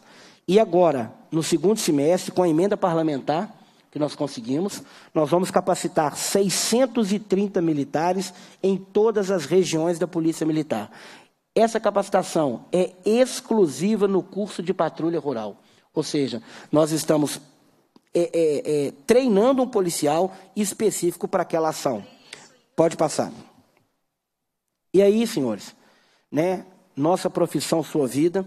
A gente agradece aqui a oportunidade. Desculpa pela correria, né? A gente sabe do tempo, mas eu queria agradecer, deputado, e falar que a Polícia Militar ela está à disposição para melhorar os seus processos, receber opiniões, receber sugestões, para a gente estar cada vez mais próximo do homem do campo, pela importância que o homem do campo tem, levando comida às, à mesa do Brasil e fora do Brasil. Então, coloco à disposição, agradeço a todos e muito obrigado. Olha, gente, eu, em várias reuniões, eu já disse que eu não tenho um palmo de terra. Companheiro Dalmo Ribeiro que se encontra presente fisicamente aqui na, na reunião. Eu não tenho um palmo de terra, comandante, doutor Helenice, é, doutor Zé Luiz, mas eu já puxei uma enxada do Ascário com um cabo de Guatambu quando tinha oito anos de idade, na região de Santa Juliana, que é próxima ali à minha terra Perdizes. É, então eu sei o valor que tem e aquilo que o senhor disse. Muitas vezes o pequeno produtor tem cinco cabeças de gado que produz o leite que produz o queijo. E aquelas cinco cabeças de gado dele tem uma representação de cem, de mil do rico. É? E eu gostaria, até comandante, dentro, e doutor Helenice, dentro desse aparato de de produção, da criação dessas estruturas, é, nós iremos, eu, deputado Dalma e deputado Antônio Carlos Arantes, os representantes dessa comissão e da comissão de segurança, que eu faço parte também, sugerir aos produtores rurais, aos presidentes dos sindicatos rurais, e aqui eu aproveito a, a presença do, do Juninho, lá de Pratinha, que é o presidente do núcleo, Juninho, que os transportes de gado, que os transportes de insumos, de defensivos, de equipamentos agrícolas não sejam feitos no período noturno. Porque aí você facilita a ação policial. Oh, peraí, tem um cara transportando aqui 11 horas da noite um trator. Está errado. Está transportando um caminhão de gado essa hora, tem um trem errado. Tem alguma coisa que não está certo nisso. Então, facilita a ação da polícia, facilita. É, e Uberaba, através do presidente Gilberto, já tem feito isso, a região já tem feito isso de forma tranquila. Eu tive uma reunião recentemente com o Gilberto, presidente do Sindicato Rural de Uberaba, que é outro abnegado, batalhador, procura sempre é, combater essa criminalidade e está em apoio ao mundo do campo. E isso é uma das sugestões que nós queremos pedir. E a criação das delegacias, doutor, leve também a importância dessa delegacia combater principalmente o crime contra o patrimônio. Nós não podemos nos ater a um crime de Maria da Penha que aconteceu lá no setor rural só porque é rural. Não, nós temos que nos ater ao crime que deteriora o patrimônio de quem está lá no campo, ou a vida, por consequência, ou a saúde de outrem. Então é isso e, e eu gostaria de agradecer muito a presença de todos. E eu gostaria de perguntar aqui se tem alguém virtual, Juninho, o Márcio, Renatinho, nosso prefeito de Campo Florido, é, o Pacheco, lá de, de Frutal. Senhor presidente, eu gostaria que o doutor Zé Luiz pudesse fazer a explanação, porque tá. ele está chefiando. Né, só, só um minutinho, eu vou, vou passar. Desculpa, doutor. Passo a palavra ao doutor Zé Luiz, que aqui representa o doutor Márcio Nabac, né, que foi um, um dos grandes percussores de combate ao crime na zona rural. fez um grande trabalho nesse sentido. Eu serei breve, né? Nesse sentido, eu cumprimento a todos, na pessoa do deputado Antônio Carlos Arantes, em reconhecimento a, a todo o apoio que ele dá ao DEPAT e à Delegacia de Crimes Rurais. O seu apoio é imprescindível pelo trabalho que nós estamos fazendo hoje. Sem o senhor, vários dos trabalhos não teriam saído do papel. Como, por exemplo, o senhor já mencionou, essa, essa criação desse, dessa sede própria, desse prédio próprio da Delegacia de Crimes Rurais, Delegacia de Investigação e Repressão a Crimes Rurais, a DEICA, vinculado ao DEPATRE, juntamente com a Delegacia de Cargas, né? temos um prédio próprio com muito mais estrutura, o senhor conseguiu angariar, junto com a iniciativa privada, com absoluta legalidade e transparência, uma estrutura que sem o senhor não teria saído do papel. Enfim, é, a DEICA ela é vinculada ao DEPATRE, Departamento Estadual de Crimes contra o Patrimônio, nós somos sediados na capital, mas com atribuição no estado inteiro. Ou seja, nós não estamos em Belo Horizonte, nós estamos no estado inteiro. Aliás, a gente vive viajando, a gente vive no mato, na estrada, no campo. É...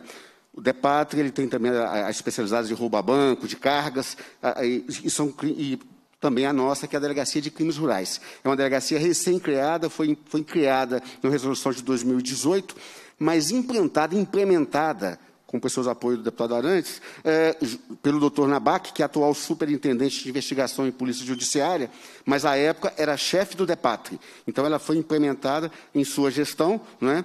Eu assumi em agosto do ano passado e nós temos feito diversos trabalhos que têm repercutido consideravelmente na redução ao, aos, aos, crimes no campo. O, importante dizer, comandante, é, o deputado Erigrilo, com a sua, a sua, experiência como delegado, o senhor bem sabe, a, a, o crime rural ele tem uma, uma, característica muito peculiar. Daí a importância de termos a DEIC, junto com essa iniciativa estratégica do chefe de polícia, de estar levando também as delegacias locais, mas sempre em comunhão de esforços.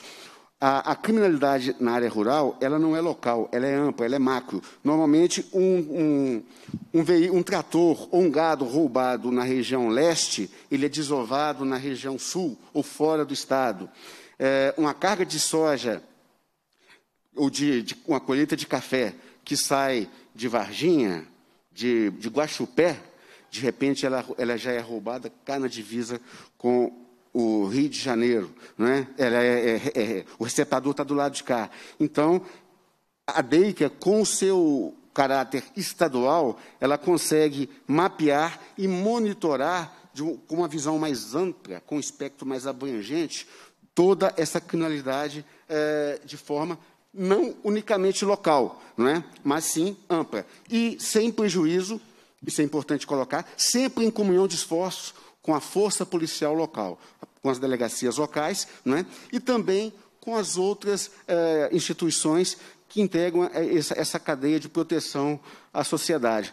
A Patrulha Rural, a Polícia Militar é uma importante parceira, e nós temos também feito grandes trabalhos com setores que são importantes e estratégicos, inclusive que merecem a atenção da Assembleia, como o deputado tem, tem sempre sido muito atento. Por exemplo, o IMA. Nós temos feito recuperações de gado é, em conjunto com o IMA, ou seja, recuperações de, de, de, de tratores roubados, né? É, e a própria Receita Estadual, é, é importante mencionar esse caráter integrado da, da repressão. Né? O, um gado que, que ele, é, ele é roubado, por exemplo, quando nós o localizamos, e o Lima está conosco, muitas vezes eles detectam irregularidades superam a questão criminal. Vão, por exemplo, sob o ponto de vista sanitário. Né? A Receita também tem a questão fiscal. E tudo isso a DEIC já conjuga sediando em Belo Horizonte.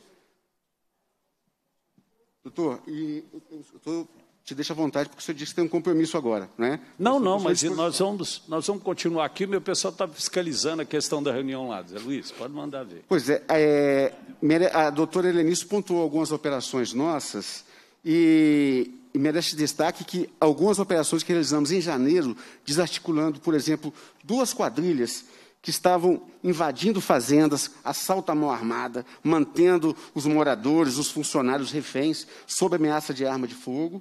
É, nós conseguimos desarticular essas quadrilhas, recuperando gado, recuperando tratores roubados, e após essa, essas operações, pontualmente em janeiro, mas resultado de um trabalho que já vem desde o ano passado, drasticamente foi pontuada a redução da criminalidade na zona rural. Na questão afeta invasões a fazendas, por exemplo.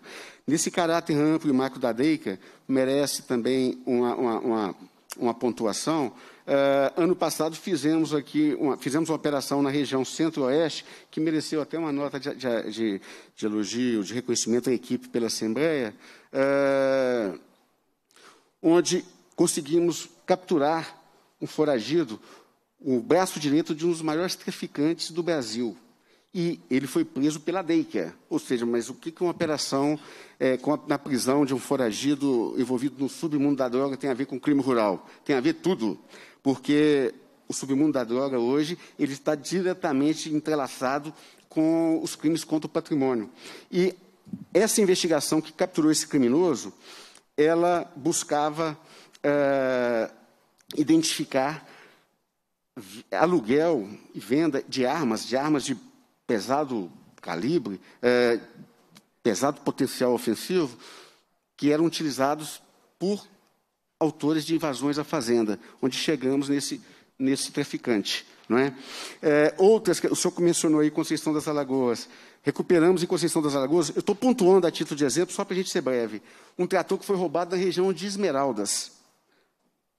Quatro ou seis anos antes né, da, da, sua localização. Ou seja, sempre repercutindo na, na questão macro. O doutor Elis pontuou alguma, algumas, algumas recuperações. Tratores roubados, por exemplo, em Dores de Guanhães, na região leste do estado, foi recuperado no caminho do sul de Minas. Nesse sentido, o sul de Minas tem sido objeto de grandes operações nossas também. Em janeiro, fizemos uma operação é, de um roubo cometido com grave ameaça e extrema violência na região de São João del Rei, São Tiago, que, que houve uma repercussão muito, muito, muito positiva pela, pela, pela gravidade do crime né, em si, é, essa operação ela foi deflagrada em, em, apuração. Esse roubo, como é que tudo, tudo se, se, se estende, né? foi deflagrada no Vale do Aço, na região de Boa Esperança, é, no sul de, entre outros locais do sul de Minas, e em uma, uma malha extensa do centro-oeste, Nova Serrana, Divinópolis, e com a prisão a desarticulação dessa quadrilha, grande, é, praticamente cessou a questão de invasão à fazenda. Também fizemos uma operação, uma recuperação de mais de 100 cabeças de gado aqui eh, na região de Ribeirão das Neves, também em janeiro, que era uma quadrilha que estava roubando no estado inteiro, e gente perigosa, gente covarde, invadindo fazenda, e recuperamos mais de 100 cabeças de gado ali. Além de um caminhão roubado também, um caminhão boiadeiro roubado. Nessa operação, nessa única operação, nós recuperamos gado roubado em Caetanópolis, em Sete Lagoas, em Abaité e em Esmeraldas, onde um senhor de 90 anos foi mantido refém por quase nove horas. Ou seja, eu estou pontuando aqui de forma absolutamente é, concisa, né, pela, pela questão do tempo, né, e também por, por, toda a explanação que já foi feita pelo comandante e pela doutora Helenice, é, esse caráter macro e como essas ações decorrentes de investigações de polícia judiciária realizadas pela DEICA DEPATRI têm impactado positivamente de forma absolutamente relevante na redução estatisticamente comprovada da criminalidade na área rural. E a sua observação, eh, doutor Eli, sobre a questão da, da, das, das da, dessa implantação das delegacias rurais no interior, e também pela existência da DEICA na capital, é, parabenizar também a chefia da polícia, né, tanto o nosso chefe como, como o nosso superintendente, é, entre todos os outros membros do conselho e, e profissionais envolvidos, não é? é doutor Janice, que é gerente, eu também participo desse projeto, doutor Arantes, como, o deputado Arantes como um grande apoiador, enfim.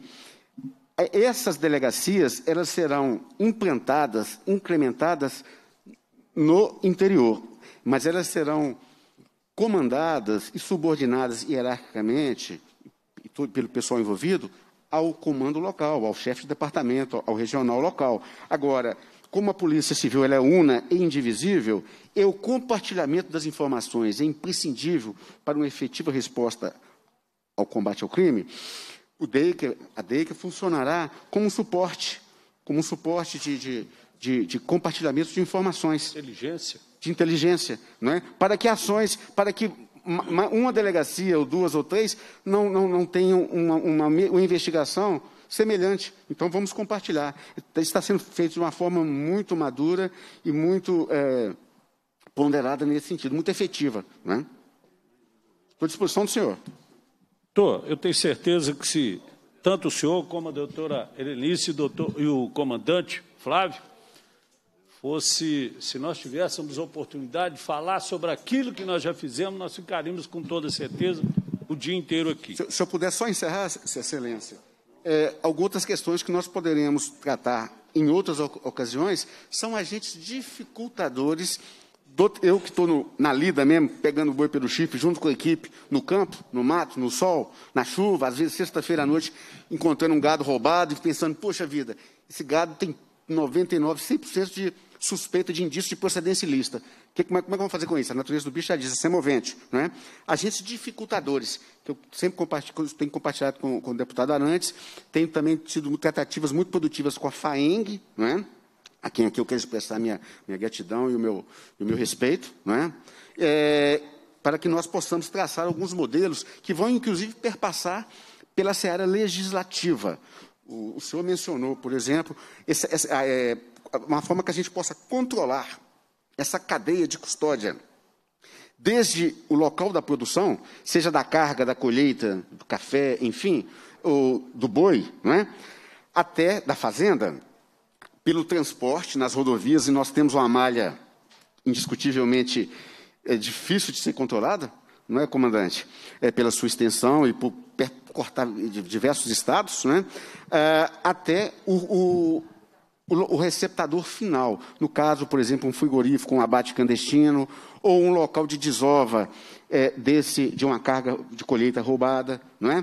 Então, tudo isso nós podemos depois, no, no, no momento, nós estamos com essa experiência que a gente já tem no, no, no campo, aí, né, no, trabalho a campo, nós estamos dispostos para estar conversando.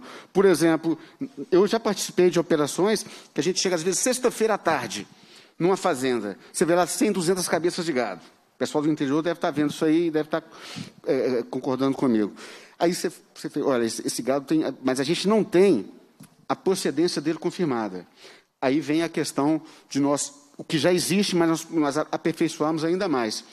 Com o IMA, por exemplo, esse contato, não é? Com, com, com a Receita, com, o Fisco, com a Receita Estadual, não é? é que, que, como eu disse, a questão criminal ela também perpassa pela questão sanitária, fiscal, toda esse, essa rede integrada pela patrulha rural, não é? Isso nós podemos estar fazendo uma evolução, né? Já existe já, é, já existe uma resposta efetiva e satisfatória para podermos estar, eu coloco à disposição. Né? Outra coisa também importante, só para encerrar, é que nós encontramos alguma dificuldade. Já quero aproveitar aqui para colocar isso. Quando a gente encontra numa fazenda de um potencial receptador, e a gente pensa hoje que uma carreta de boi vale 300, 400 mil, né? As coisas, o agronegócio hoje, né, tá, tá, graças a Deus, está tá, tá muito coeficiente. É, o próprio nome, se for um, um, um, trator roubado, ele pode ficar num pátio credenciado. Se for uma colheita, uma carga de colheita, também fica no local custodiado. Mas o, o, gado, pelo próprio nome, semovente, já indica a sua, a sua característica. Se ele está no eucalipau, por exemplo. Às vezes, é, a minha equipe, eu e outras autoridades policiais, envolvi, policiais envolvidas nesse, nessa, nessa repressão, mantém uma enorme dificuldade em estar custodiando este gado. Às vezes encontramos alguns depositários, algumas pessoas que aceitam ser depositárias dele, algumas vezes conseguimos deixar com o proprietário da fazenda. Então, nós temos outras questões que perpassam, que são acessórias ao combate, que eu estou aproveitando o um momento para estar à disposição dos senhores, para a gente estar oportunamente, com tempo, conversando a respeito e tornando essa resposta estatal aos crimes rurais ainda mais efetiva. Obrigado, doutor Zé Luiz. Como eu disse, nós teríamos assuntos, tanto a Polícia Militar, através do Coronel Flávio, quanto o doutor Helenício, o senhor, e até eu aqui, no final do meu, do meu mandato como presidente, como chefe de departamento, doutor Helenício, nós começamos uma investigação com o doutor Conrado, lá de Araxá, já da Delegacia Rural, e recuperamos no final do nosso, na nossa chefia aproximadamente 400 cabeças de gado, todas no estado de Goiás, seis, cinco ou seis tratores, equipamentos agrícolas. Agora, tudo isso nós temos que ter um, um apoio. A começar pelo Ministério Público, que tem que nos dar o apoio e nos ajudar. E também o Judiciário, com a inspeção das medidas cautelares solicitadas. E os, os nossos congressistas, Antônio Carlos Arantes e Dalmo Ribeiro, precisa reanalisar a questão do furto, da fiança no furto e algumas espécies de furto. Isso se tornou o zero e vezeiro. E aqui uma sugestão para os nossos colegas delegados: capricha na fiança. A fiança tem que alicerçar no poder aquisitivo do autor e no valor da res furtiva, do valor, do, do valor subtraído. Então, vamos caprichar, porque quanto mais dificultarmos a vida desse pessoal fora da cadeia, melhor. Bandido tem que ficar atrás das grades, não tem outro lugar. Conceição das Alagoas está sofrendo com o roubo de pivôs, de, de equipamentos agrícolas na região. Sacramento da mesma forma. E eu gostaria de indagar a nossa. É... Tá, eu gostaria de passar primeiro para o Renatinho, prefeito, para que ele possa apresentar alguns dados. Prefeito, o senhor tem a palavra.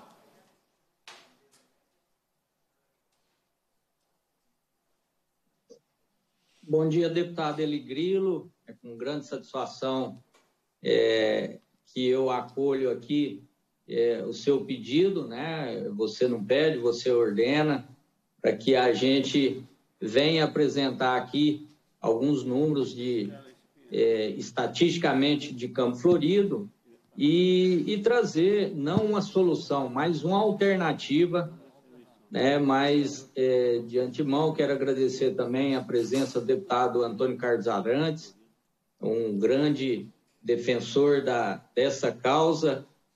É, agradecer também a presença da Polícia Civil, é, com a doutora Helenice, o, o coronel Flávio Godinho, que representa aí muito bem a PM, e os demais participantes dessa comissão.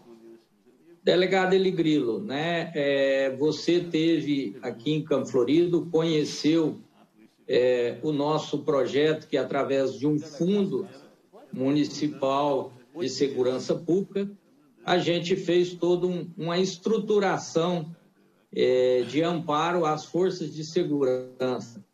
E essa estruturação ela se deu. A gente sabe muito bem que as diretrizes hoje é, tanto do governo federal como do Estado, no momento da, da pandemia, é, se pendura muito mais a áreas ligadas como saúde, como educação e outras áreas que não deixam de ser primordiais, mas que às vezes a área de segurança nem sempre tem recursos.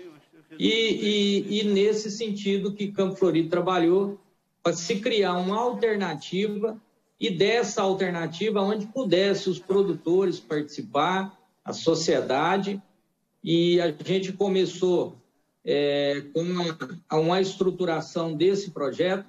Gostaria, se fosse possível, que apresentasse para que, numa forma dinâmica e rápida, a gente conseguisse é, é, mostrar para a comissão. Bom, o projeto se chama Guardião, é um projeto de tecnologia digital pudesse. Ao próximo, por favor.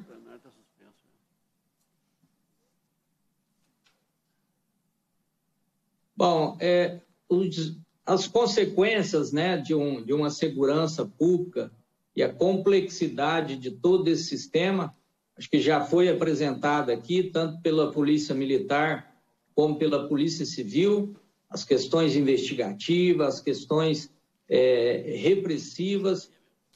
Podia passar a próxima, por favor? Bom, através de uma lei municipal foi criado o projeto Guardião. Ele consiste na implementação e instalação de câmeras com captação é, de imagem de alta resolução em tempo real, É, o sistema hoje funciona integrado com as forças de segurança pública através da Polícia Militar. O deputado Eli Grillo teve a, a honra e a participação de ir lá no, no quartel, ver como funciona o sistema. Ele faz todo um controle de tráfego, um zelo pela, pelas imagens que são captadas, um aperfei aperfeiçoamento e uma metodologia técnica dessas imagens para que venha contribuir em possível investigação. Passar para o próximo, por favor. Bom, o sistema é operado através de uma empresa licitada. Essa empresa ela é credenciada pela Polícia Militar e hoje a capacidade são de três operadores com, com alto sistema de resolução e que com potencial de dobro da capacidade com, a mesmo, o mesmo nível de operação. O próximo, por favor. Inicialmente, o trabalho consistiu em ampliar o raio urbano para que, que todos tenham conhecimento. O Campo Florido é uma cidade de 8 mil habitantes. É, o patrulhamento que se tem feito à ronda ela é ostensiva à cidade, inviabilizando a ronda ostensiva à zona rural. O trabalho que foi feito é para que a cidade ficasse protegida, dando condição para que os militares e a parte investigativa também pudesse autuar mais na zona rural. O próximo, por favor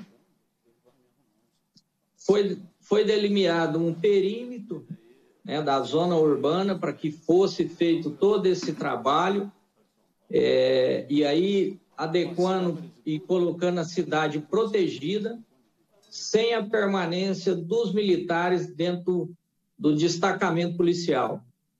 O próximo, por favor. Bom, com isso foi constituído uma espinha dorsal através do, do Fundo Municipal de Segurança. Ele tem aí a representatividade através da sociedade, a prefeitura. O fundo ele recebe é, repasses concedidos aí de recursos parlamentares, de doações de empresa privada, que é o que está acontecendo aqui, e outras receitas oriundas de que, de que qualquer outros meios, como TAC, é, junto ao Ministério Público. Então, qual que é a diferença básica do fundo e de um repasse natural para um conselho, um CONCEP? Temos que entender que o fundo ele tem natureza pública e personalidade pública, diferentemente de um CONCEP, que tem a função de um órgão público, porém é de direito privado.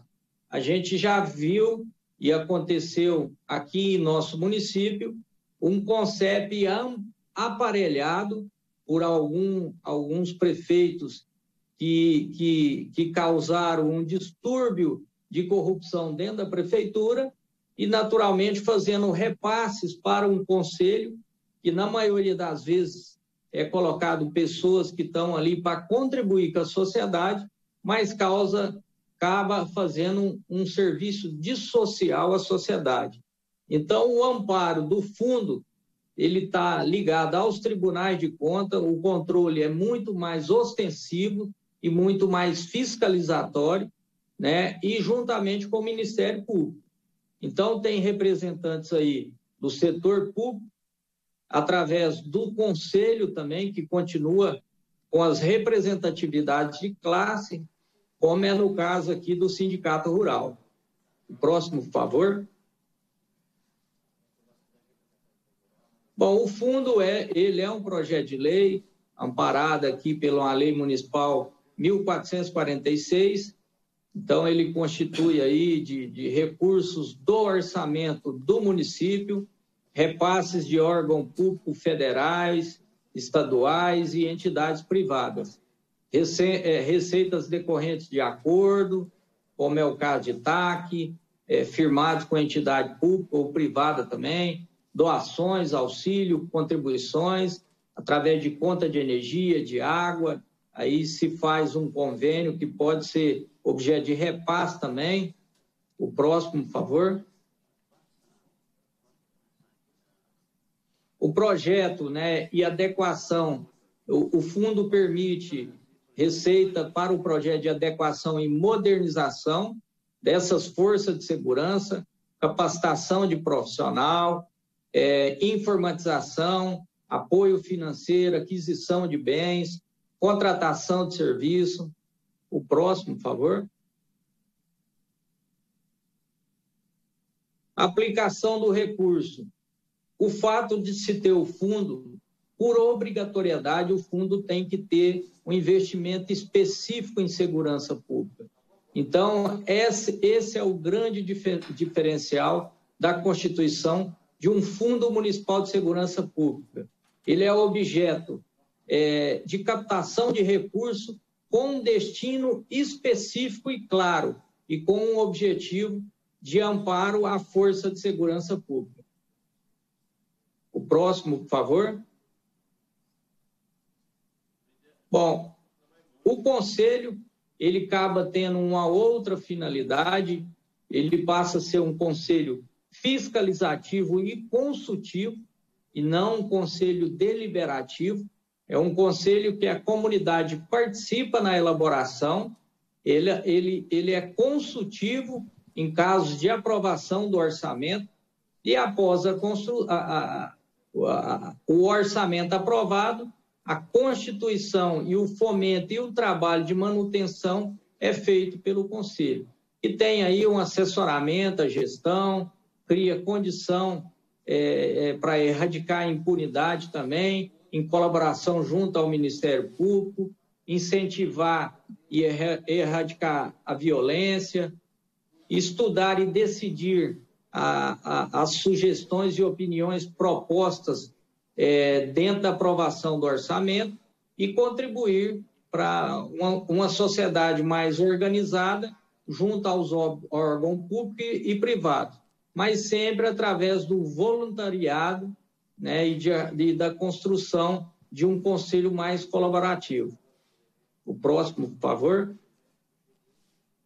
Bom, o que que o, o município de Campo Florido fez dentro do fundo e o que, que ele contribuiu em 2020. Foram investidos quase meio milhão de reais para um município de 8 mil habitantes. É um recurso expressivo. Se foi comprada aí uma caminhonete estabelecendo uma patrulha rural, que aí sim o militar pôde sair de dentro da zona urbana e se direcionar na zona rural na fiscalização ostensiva. A composição também através de um drone, reforma do destacamento policial e aquisição do sistema Guardião, que é um vídeo monitoramento de alta precisão nos preceitos básicos da polícia militar mineira, através do sistema aéreos, com sistema de leitura de placa de OCR e até identificação visual de possíveis criminosos.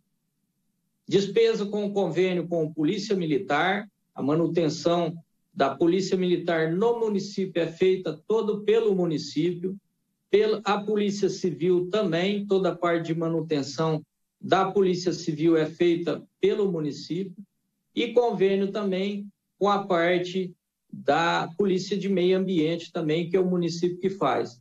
Então, todo esse investimento captado pelo fundo foram investidos 471 mil reais no fundo. É esse modelo que a gente traz, que o município traz, em contribuição de que tudo foi, de que tudo que foi apresentado e falado é, nessa comissão. Quero agradecer desde já, deputada, a oportunidade para que a gente pudesse é, contribuir dizer que, que Campo Florido não é diferente do que foi é, colocado é, pelos nobres deputados e aqui também pela Polícia Civil e Militar, e dizer que essa é uma alternativa funcional que funciona de fato e de direito, e, e com um, um, um sistema mais robusto na parte de fiscalização dos tribunais de contas e do próprio Ministério Público. Oh, finalizou, Renatinho? Finalizei. Primeiro, quero te agradecer e dizer que o Renato é um exemplo de gestor que apoia a segurança pública é, no Triângulo Mineiro e, é claro, tem muitos por aí. Mas eu gostaria, neste momento, de ouvir o colega deputado Dalmo Ribeiro, alguns minutos, antes de eu passar para o Juninho e para o, o Pacheco lá de, de Frutal, que estão inscritos aqui para falar.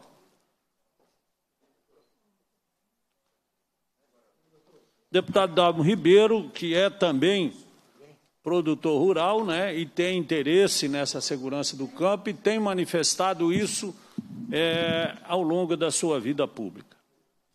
Muito obrigado, caríssimo presidente doutor Eli.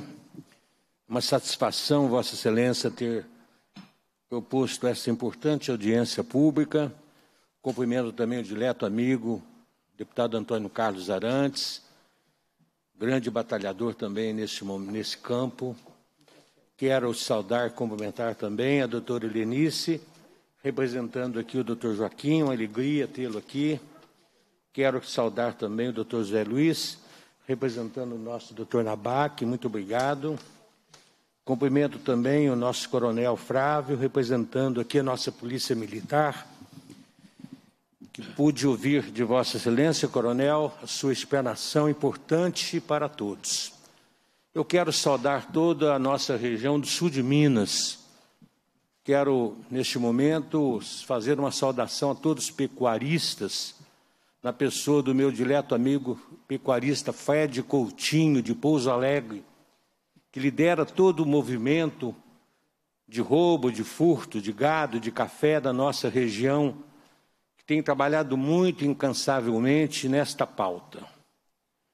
Mas eu quero trazer aqui a nossa preocupação, caríssimo presidente, na bem colocação feita pelo coronel Frávio quando a apresentação do seu quadro estabelece e nos mostra a região de Pouso Alegre, um dos maiores índices de criminalidade, de furto, de roubo.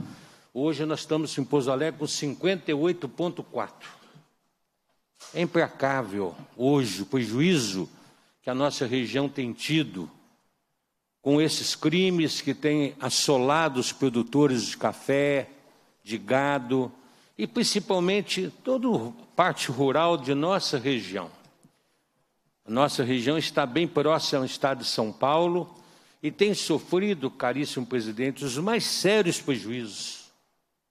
Quero louvar muito o Coronel Pinheiro, que é o nosso comandante do departamento. Quero saudar e agradecer muito o Tenente Coronel Santana, do vigésimo.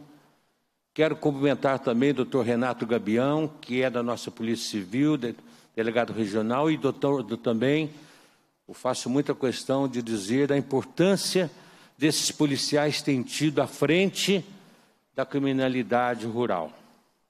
Doutor Arthur Ribeiro, que é o chefe do Departamento de Polícia Civil, tem dado toda a cobertura.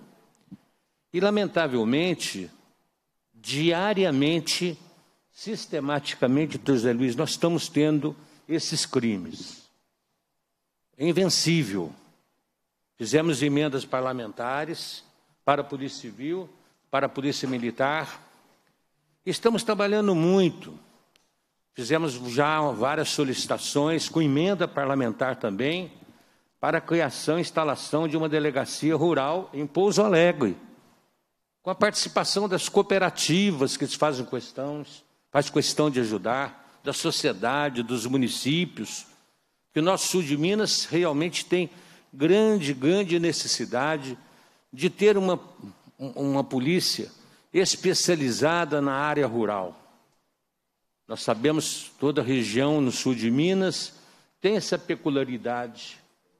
Há pouco tempo, através do trabalho feito em conjunto com a civil, com a militar, conseguiu aprender inúmeras cabeças de gado que já estavam no estado do Paraná, são Paulo, mas eu quero mais, um, mais uma vez renovar o nosso, o nosso agradecimento à nossa Polícia Civil, Polícia Militar.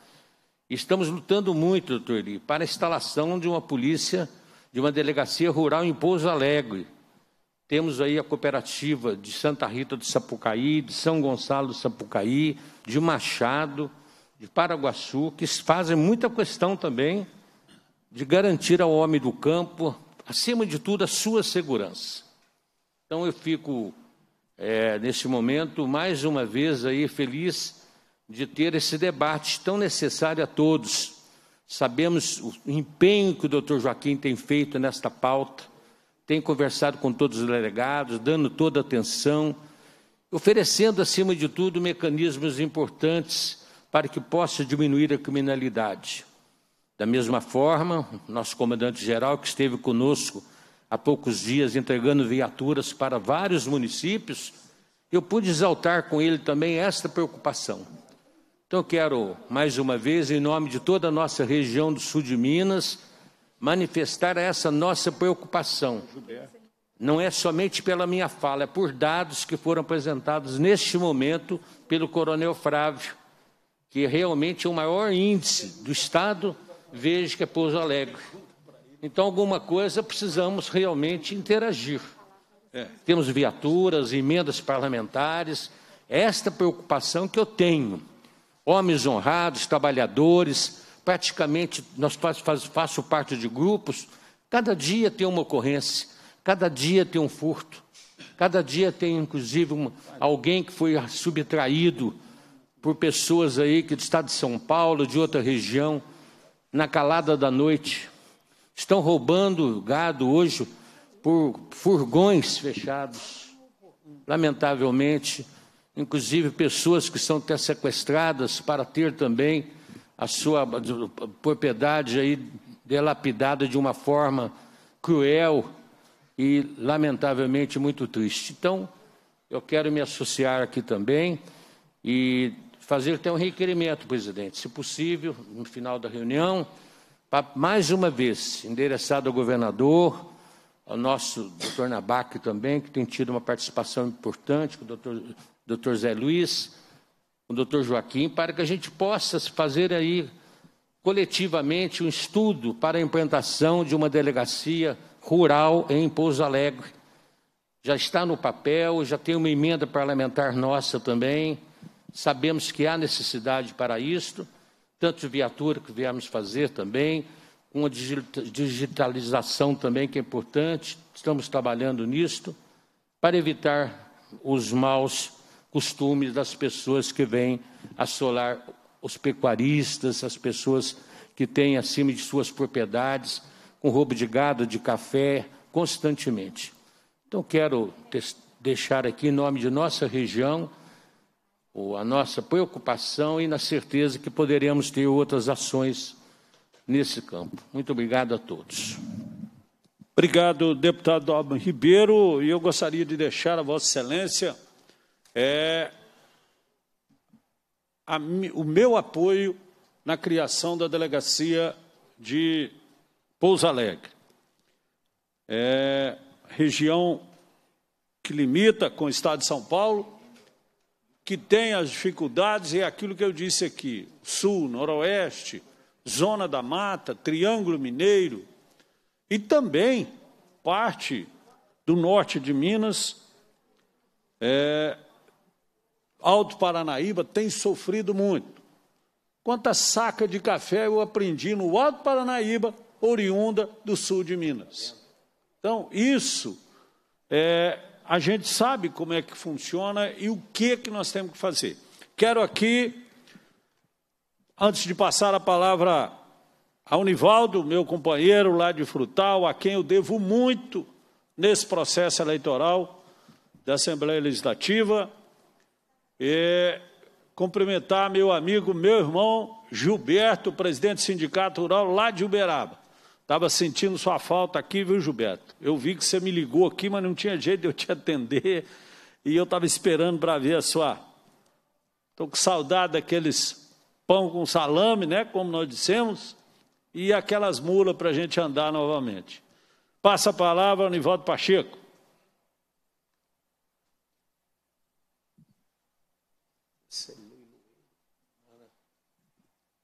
Bom dia a todos. Primeiramente, eu quero cumprimentar você, chamo você, deputado, pela nossa amizade. Quero te cumprimentar por essa mais uma grande iniciativa da sua parte. Deputado Eli Grilo é realmente um batalhador por todas as causas, mas, como ele sempre gosta de falar, ele realmente merece título, esse título de batalhador pelo produtor rural de Minas Gerais. Deputado, é, é muito importante essa iniciativa sua e um convite seu sempre é uma ordem a nós, porque você realmente sempre tem as grandes iniciativas importantes que são pertinentes aí à sua política estadual. É, nós estamos aqui em Frutal, deputado, eu gostaria de ser breve. Eu estou aqui do lado, do meu lado está aqui o vereador Sebastião Custódio Couto Júnior, deveria estar do outro lado aqui o também vereador Antônio Joaquim da Silva, nosso querido Tony da Véia, é, mas por compromissos outro ele não pode comparecer. Esses dois vereadores são hoje os nossos baluartes, os nossos defensores na Câmara Municipal, defendendo os produtores rurais de frutal. Então é importante que eles estejam aqui com a gente. E nós estamos imbuídos numa luta é, que eu quero parabenizar aí a todos que participaram até agora, as explanações, prefeito Renatinho, o coronel, o comandante da PM, a representante da Polícia Civil. E eu quero dizer para vocês o seguinte: em Frutal nós temos aí a Companhia de Polícia Militar, nós temos a Delegacia Regional, que graças a Deus todos esses segmentos estão muito bem servidos, são profissionais competentes, profissionais é, dispostos a realmente a trabalhar pela comunidade e a nossa segurança na mão deles está é, tá sempre bem trabalhada. Porém, nós temos que ajudá-los. É, nós do setor rural estamos desguarnecidos há uma longa data, a cada dia pior, estamos vivendo situações que são alarmantes. O êxodo rural aqui em Frutal hoje é realmente uma, um alarme, porque as pessoas estão preocupadas, as pessoas não querem morar na zona rural, porque nossa região, graças a Deus, é uma região muito boa. Nós somos servidos aqui de várias saídas para o estado de São Paulo. Nós somos servidos pela, pela BR-364, pela BR-153, que leva diretamente, é, nos leva diretamente ao estado de São Paulo. Lá em São Francisco de Sales, nós temos também o porto, que dá uma passagem rápida para o estado de São Paulo. Estamos ligados também com o norte do país através da nossa ligação muito próxima com o estado de Goiás. Isso facilita muito os beliantes em roubo de gado, roubo de máquinas. Eles roubam aqui, daqui a pouquinho já está em outro estado. E a polícia militar faz o seu trabalho brilhante. Ela chega, faz todo o levantamento. Mas nós estamos realmente necessitados, como o deputado Dalmo citou aí.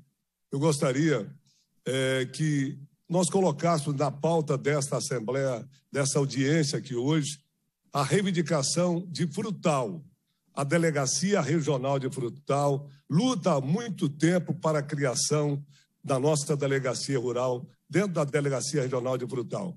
O deputado Eli Grilo, ele é um baluarte dessa luta. Quantas reuniões ele já participou e agora ele toma essa iniciativa, deputado. É muito bom saber que você continua aí na luta e Frutal está com você. Então nós estamos aqui nessa participação é, parabenizando, aplaudindo todas essas grandes iniciativas. Mas para é, fazer o nosso trabalho aqui, nós, o Sindicato Rural de Frutal, que representa os produtores gerais de frutal e planura, essa é a nossa principal reivindicação hoje. É, nós temos duas usinas aqui dentro do, do, nosso município, além das outras usinas que atuam aqui dentro do município. Todo mundo está aí é, preocupado com esse, com esse segmento que é a segurança. E nós, da comunidade, nós sabemos, recentemente nós tivemos aqui a grata satisfação de receber o governador Romeu Zema e nós entregamos, viu, deputado, na mão do, do, deputado, do, do governador, uma carta dos produtores e moradores da zona rural, pedindo que essa delegacia seja instalada o mais breve possível. Nós sabemos das limitações do Estado, o Sindicato Rural tem plena consciência disso. Então, nós estamos é, preparados e dispostos a apoiar, é, fazendo com que a comunidade possa colaborar de uma forma que viabilize realmente a instalação dessa delegacia. Então, mais uma vez, eu não quero me alongar mais, eu gostaria de passar aqui a palavra para o nosso vereador, Sebastião Custódio Couto Júnior, que representa mim muito bem o produtor rural, juntamente com o Tony da Véia. E eu quero dizer para você, deputado, que se a gente pudesse incluir na sua audiência a reivindicação da Delegacia Regional de Frutal, reivindicando a nossa delegacia é, rural, seria de grande valia para nós. Muito obrigado. Eu vou passar então o microfone para o nosso vereador Sebastião Custódio Júnior. Bom dia, deputado Alegrilo, e cumprimentar o seu nome, cumprimentar toda a mesa aí, coronel, representante da Polícia Civil, comentar aí, nós também o nosso deputado Arnaldo, né? Cumprimentar o deputado Arnaldo. É, o que o Nivaldo disse aqui, a gente só vai é, rapidamente é, dizer nós temos feito inúmeras é, reivindicações na Câmara Municipal, eu e o vereador Antônio Joaquim da Silva, que é filho de, né, o doutor Joaquim é filho de Frutal, é pai do vereador Antônio Joaquim, então eu acho que o doutor Joaquim deve ter recebido muitas, muitas inúmeras é, requerimentos do nosso município. Então nós pedimos, deputado Eli Grilo, que ponha na sua pauta, ponha como prioridade a nossa delegacia rural no nosso município. Nós venha, vemos assolados muito, com muitos roubos de gado, tratores defensivos. E hoje a gente sabe que a moeda, uma moeda muito cara é o gado. O, gado. Qualquer um caminhão de gado está valendo um erro de dinheiro. Então isso é muito importante para nós. Nós estamos aí com o terreno é, pronto para ser construído uma nova delegacia em Frutal, delegacia civil, com aporte aí de, de quase um milhão do Ministério Público é, da construção. E dentro dessa, dessa construção a gente queria o pedido de estar a delegacia rural de Frutal. Então, queria agradecer mais uma vez e dizer que nós esperamos isso muito. Frutal anseia por essa questão e os produtores também estão sendo muito penalizados. Deputado Eli Grilo, eu não poderia deixar de cumprimentar o nosso conterrâneo, doutor Arnaldo, que chegou aí agora. Que bom vê-lo aí nessa bancada, deputado Arnaldo.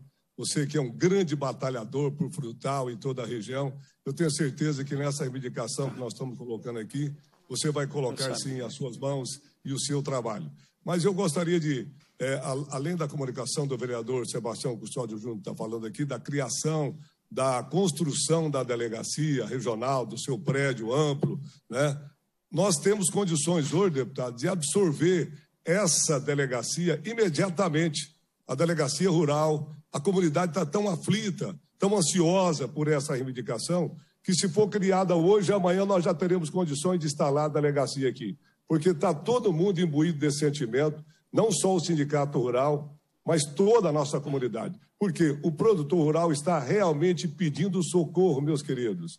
É, o produtor rural, a zona rural está desguarnecida nesse sentido. O policiamento ostensivo de frutal, eu repito, é muito bom. A polícia militar é presente, atuante, é muito bem comandada pelo nosso querido Tenente Coronel Ivanildo, a nossa delegacia regional, comandada pelo doutor Fabrício, são autoridades competentes, estão junto com a comunidade. Mas falta realmente esse trabalho investigativo, como você mesmo falou aí, deputado. Você que já foi delegado, você sabe muito bem como funciona isso, a importância disso, para que a gente possa manter afastado esses miliantes, para que a gente possa tentar colocá-los realmente atrás das grades. Então, a comunidade frutalense e comunidade regional aqui está pronta para absorver, para adquirir essa delegacia a qualquer momento. Valeu, deputado. Muito obrigado. Agradeço, Nivaldo, companheiro vereador. É, receba o meu compromisso da gente. Já tivemos conversando com o chefe de departamento que adora frutal, que é o doutor César Felipe Colombari, chefe de departamento hoje, que dirige essa região é, já conversando sobre a instalação da delegacia rural, que está vindo aí há muito tempo, e eu já fiz com ele e vou fazer com vocês é, o compromisso de destinar uma caminhonete para que ela possa ser trabalhada na zona rural de Frutal. É, eu vou passar a palavra ao meu companheiro Juninho, Geraldo César, que para mim é Juninho, meu companheiro lá de Pratinha, mas eu gostaria nesse momento também de cumprimentar o Márcio Guapo, lá de Campo Florido, que já está é, também virtual, e cumprimentar meu colega, também defensor das causas do Triângulo Mineiro e toda a região do Alto Paranaíba, que é o deputado Arnaldo Silva, que retornou a essa casa recentemente. É um prazer muito grande tê-lo aqui, deputado. E pode ter a certeza de que os seus projetos relacionados à segurança pública, principalmente a segurança pública do campo, é claro, eu não vou definir só isso, porque nós trabalhamos aqui para tudo. Mas eu tenho notado que a criminalidade foi para a zona rural. Os olhos da Polícia Militar, da Polícia Civil, os olhos da, das câmaras de monitoramento, como o Renatinho mostrou aí, ele fez com que a criminalidade no campo crescesse. Quando você aperta alguma coisa entre os dedos, é natural que saiam entre eles. É, e isso tem feito com que a criminalidade vá para o campo e tornou o setor produtivo muito vulnerável. E aquilo que eu disse no começo, gente. Sou a favor da autodefesa, de criação da autodefesa dos produtores rurais, além da força de polícia do Estado. Passo a palavra ao Juninho primeiro, depois eu concedo a palavra ao meu colega Arnaldo Silva. Juninho está esperando aqui desde nove horas da manhã, Juninho.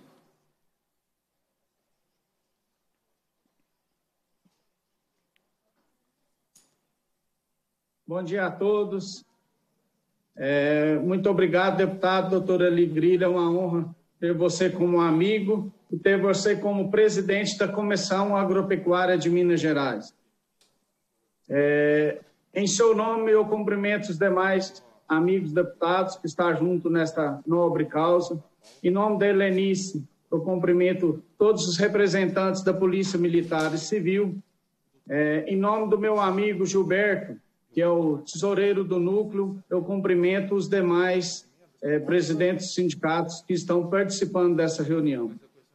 Eu confesso a vocês é, que estão participando dessa audiência, a vocês, equipe, que por alguns momentos eu fiquei até emocionado, porque é muito importante o reconhecimento para nós, produtores rurais, que vocês estão juntamente com outros órgãos, né, é, reconhecendo a nossa importância.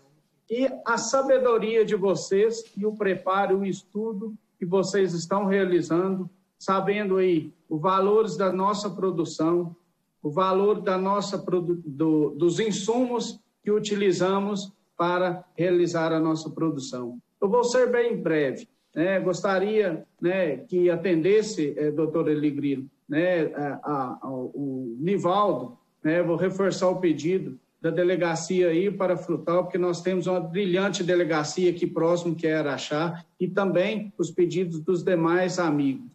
É, uma das minhas preocupações já foram mencionadas, que é né, viaturas, equipamentos aí de comunicação, que já foi mencionado. Uma das minhas preocupações que eu gostaria que atendesse também é o número de efetivo que pudesse ser aumentado para estar mais próximos em mais lugares por vez. Outro assunto que eu queria mencionar rapidamente, para não delongar as palavras, é a preocupação do nosso amigo doutor Zé Luiz. Nós, há pouco tempo, é, pela delegacia é, de Araxá, foi realizada a Operação Friboi, um brilhante trabalho do doutor André, delegado de polícia de Ibiá, que, junto com a sua equipe, fez a apreensão de aproximadamente 200 animais. É, o que o doutor Zé Luiz mencionou é muito importante, é, doutor Eli. É, a dificuldade, pelo número de efetivo e pela falta de experiência, claro, também, dos policiais, para fazer a apreensão dos animais, é, que estão, às vezes, em meio de eucalipto, em meio de matas, né? E o que, que aconteceu? O sindicato de Pratinha foi de suma importância para a apreensão desse gado, para é, gloriar o trabalho do doutor André, porque nós levamos pessoas para ajudar a, fechar, a transportar esse gado, e outro fator importante que o Zé Luiz mencionou, é, o fiel depositário desse gado. Nós trouxemos esse gado todo para o sindicato de Pratinha. Um algum número de animais foi para o sindicato de Serra do Salitre. Então, então, eu me comprometo a fazer esse trabalho no, no grupo, doutor Zé Luiz, é, é, para que os sindicatos sejam mais parceiros no momento que fizeram apreensão de gado, porque é muito importante a polícia ter esse apoio, o lugar onde depositar o gado. Então, eu acho que nessa questão, os sindicatos podem apoiar nesse sentido. E outra coisa, o apoio aqui, após a apreensão, foi muito importante do doutor André. E também eh, o processo de despesa com gado, o juiz aceitou os nossos, as nossas notas fiscais, ressarcindo aí as despesas. Então, eu peço encarecidamente também, doutor Eli, é, quando fizer essa apreensão, que o, o processo ocorra o mais rápido possível, para que devolvemos o gado aos responsáveis, aos donos, e o gado que não foi é, é, encontrado os proprietários, que sejam leiloados o mais breve possível, porque a custódia desse gado, além de ser cara, né, e enfrentamos aí é, um período difícil de seca, o que aconteceu durante essa apreensão aí desse gado, então isso é de suma importância, esse apoio na abreviação do processo.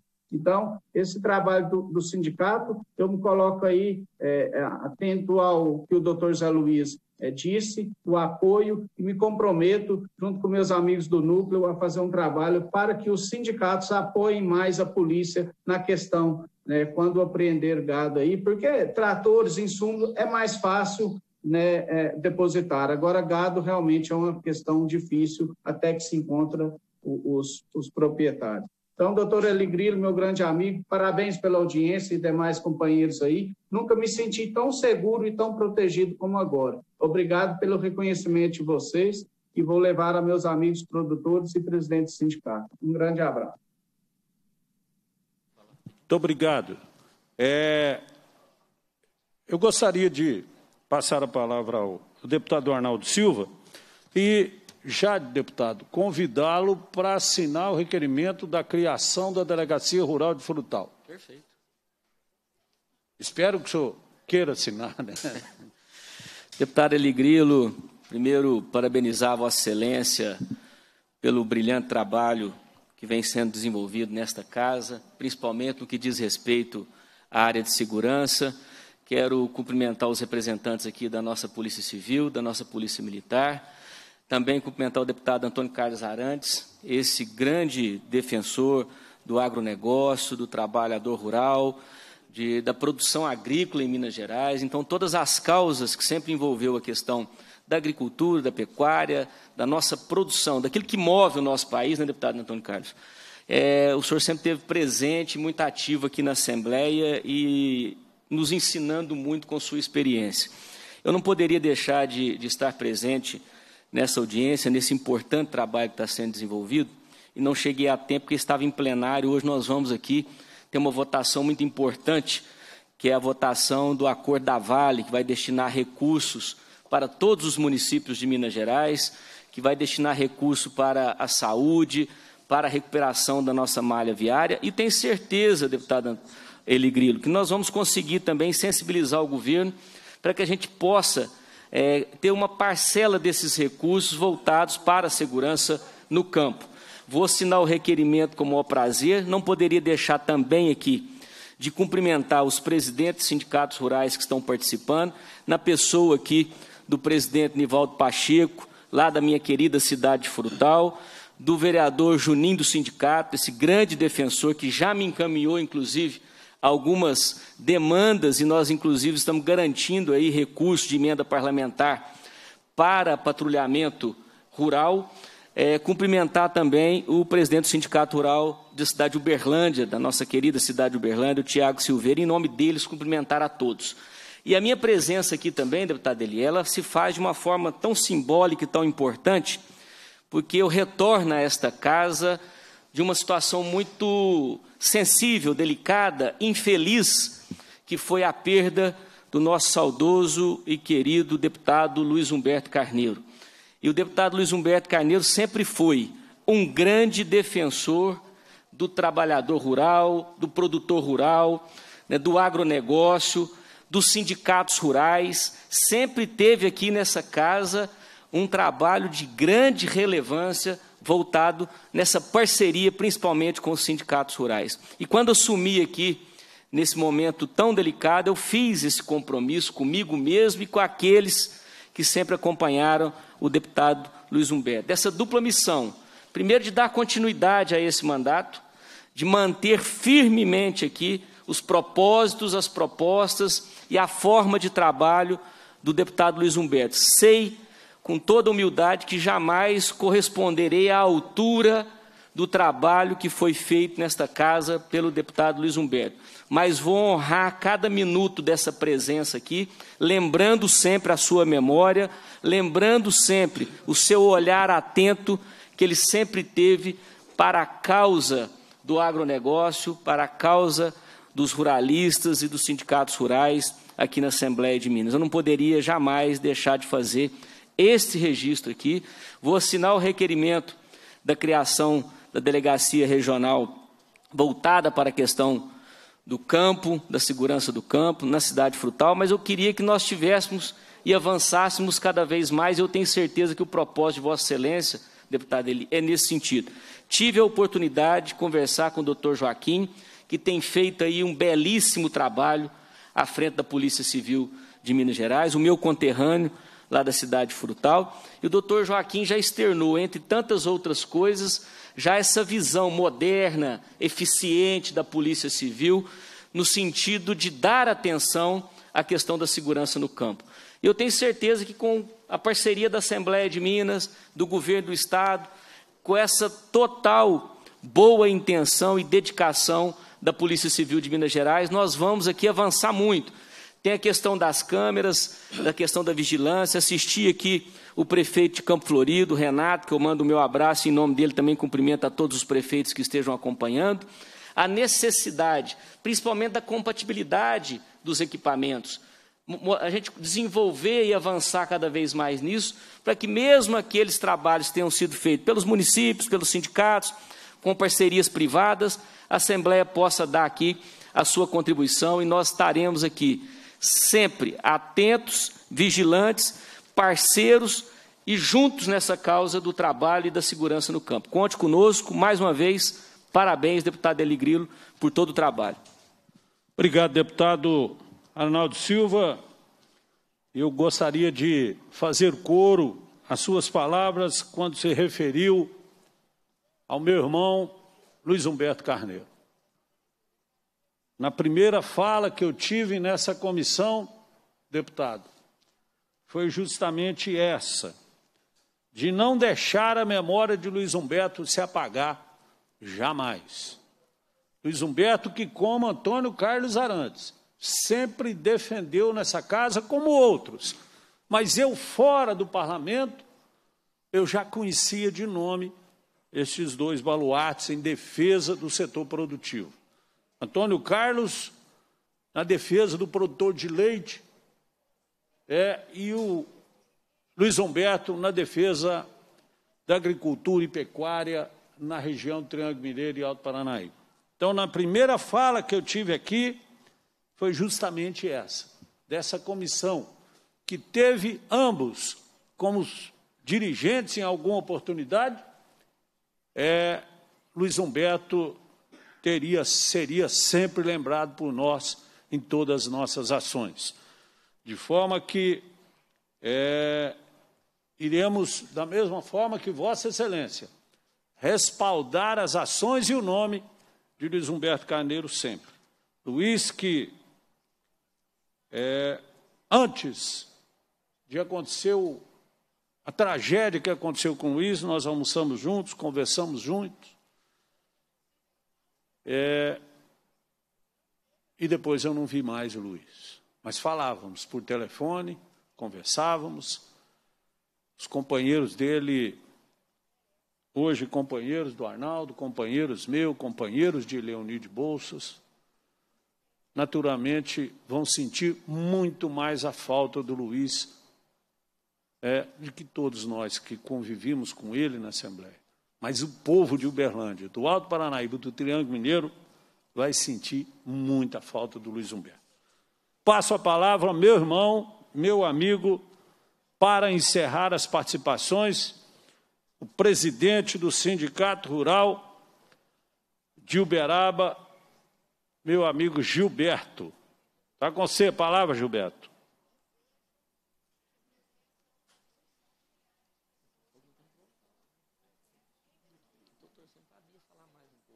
Gilberto, o seu som parece que está fechado aí, não?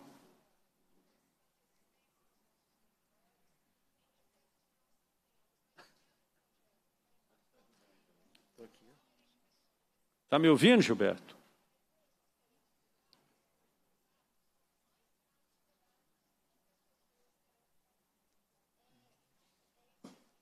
O problema é que o Gilberto é muito habituado a mexer com gado e cavalo. Ali é mais difícil, né, Gilberto?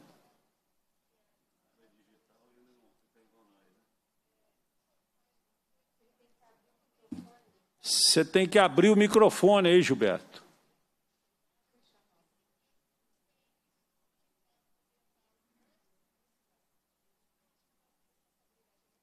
Ele deve ter ido gritar a Poliana.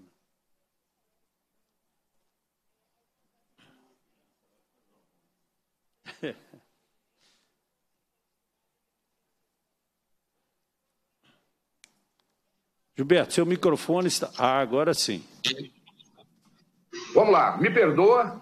São, é, primeiro que nós não conseguimos entrar aqui, a princípio, já pegamos, já peguei já a reunião já em andamento, mas é, eu quero te cumprimentar, meu amigo.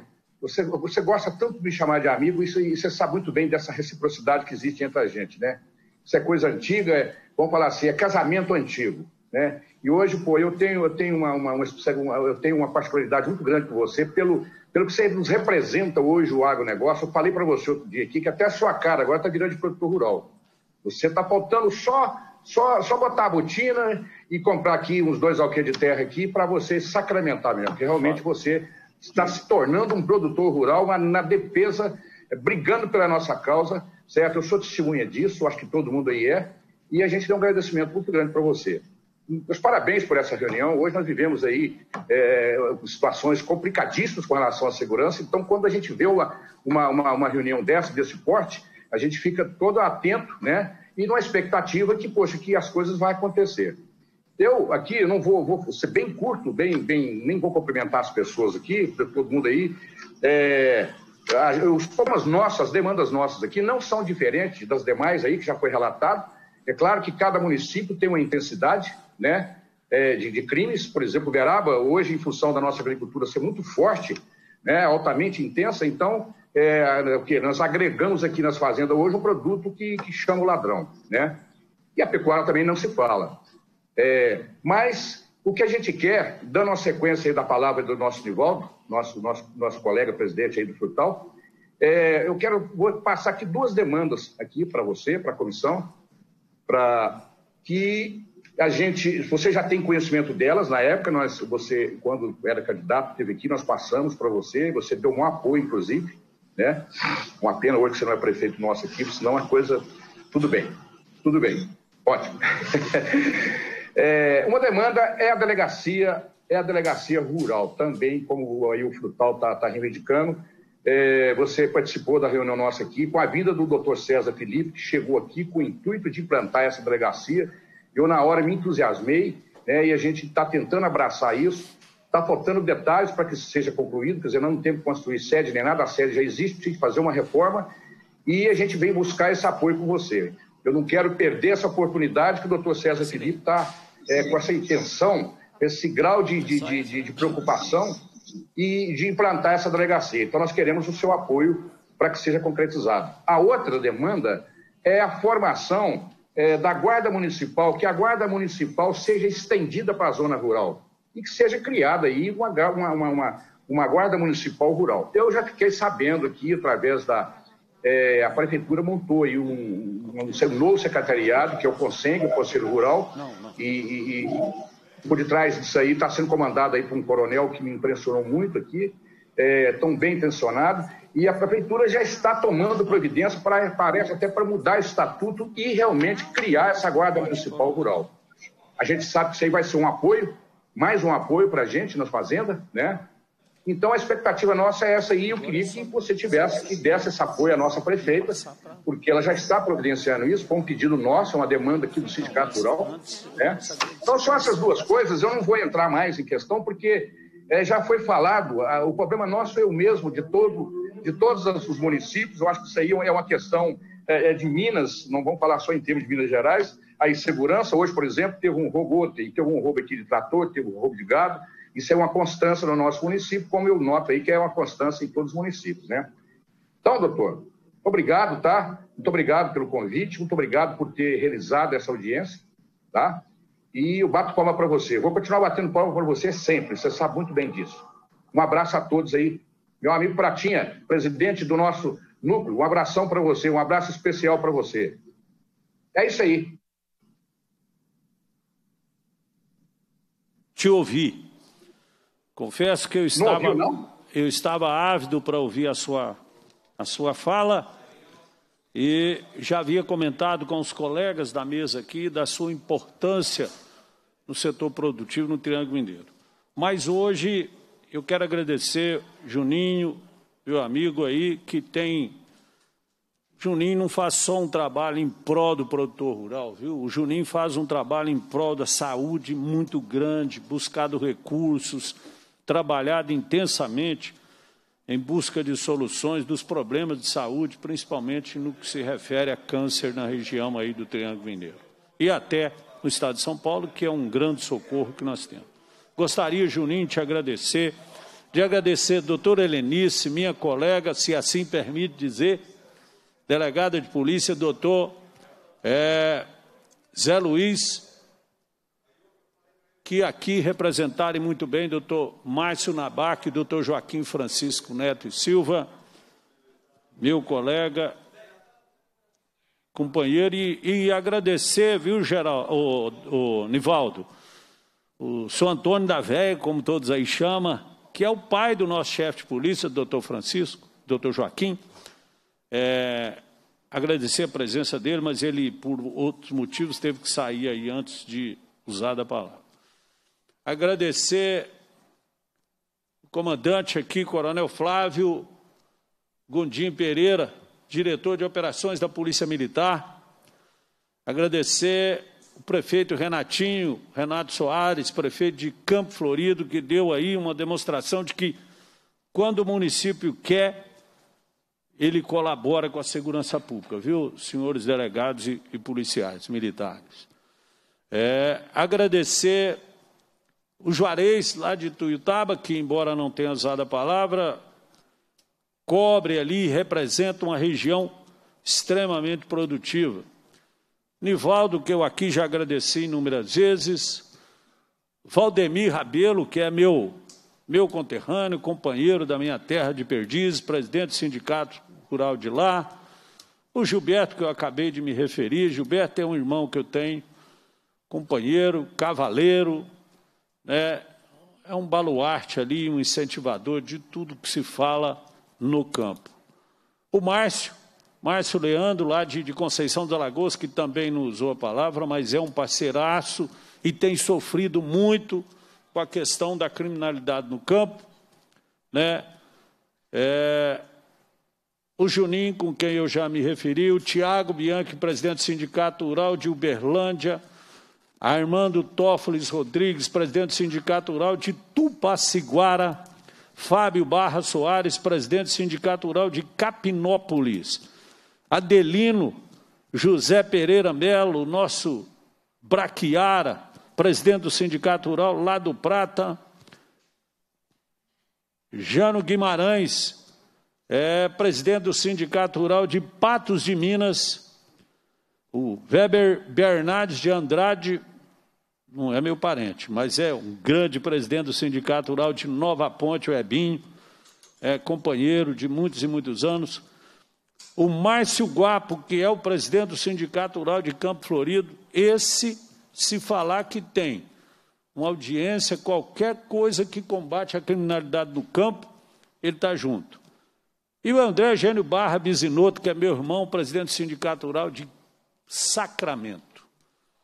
É, filho da dona Filomena, André, irmão da minha comadre Flora Bisinotto, está aqui o meu abraço nessa, nessa reunião. Eu agradeço a todos vocês e, diante da proteção de Deus, nós encerramos essa reunião é, e cumpridas as finalidades da reunião, a presidência agradece a presença de todos, de todos os parlamentares convidados, determina a lavratura da ata e encerra-se os trabalhos. Fiquem todos com Deus.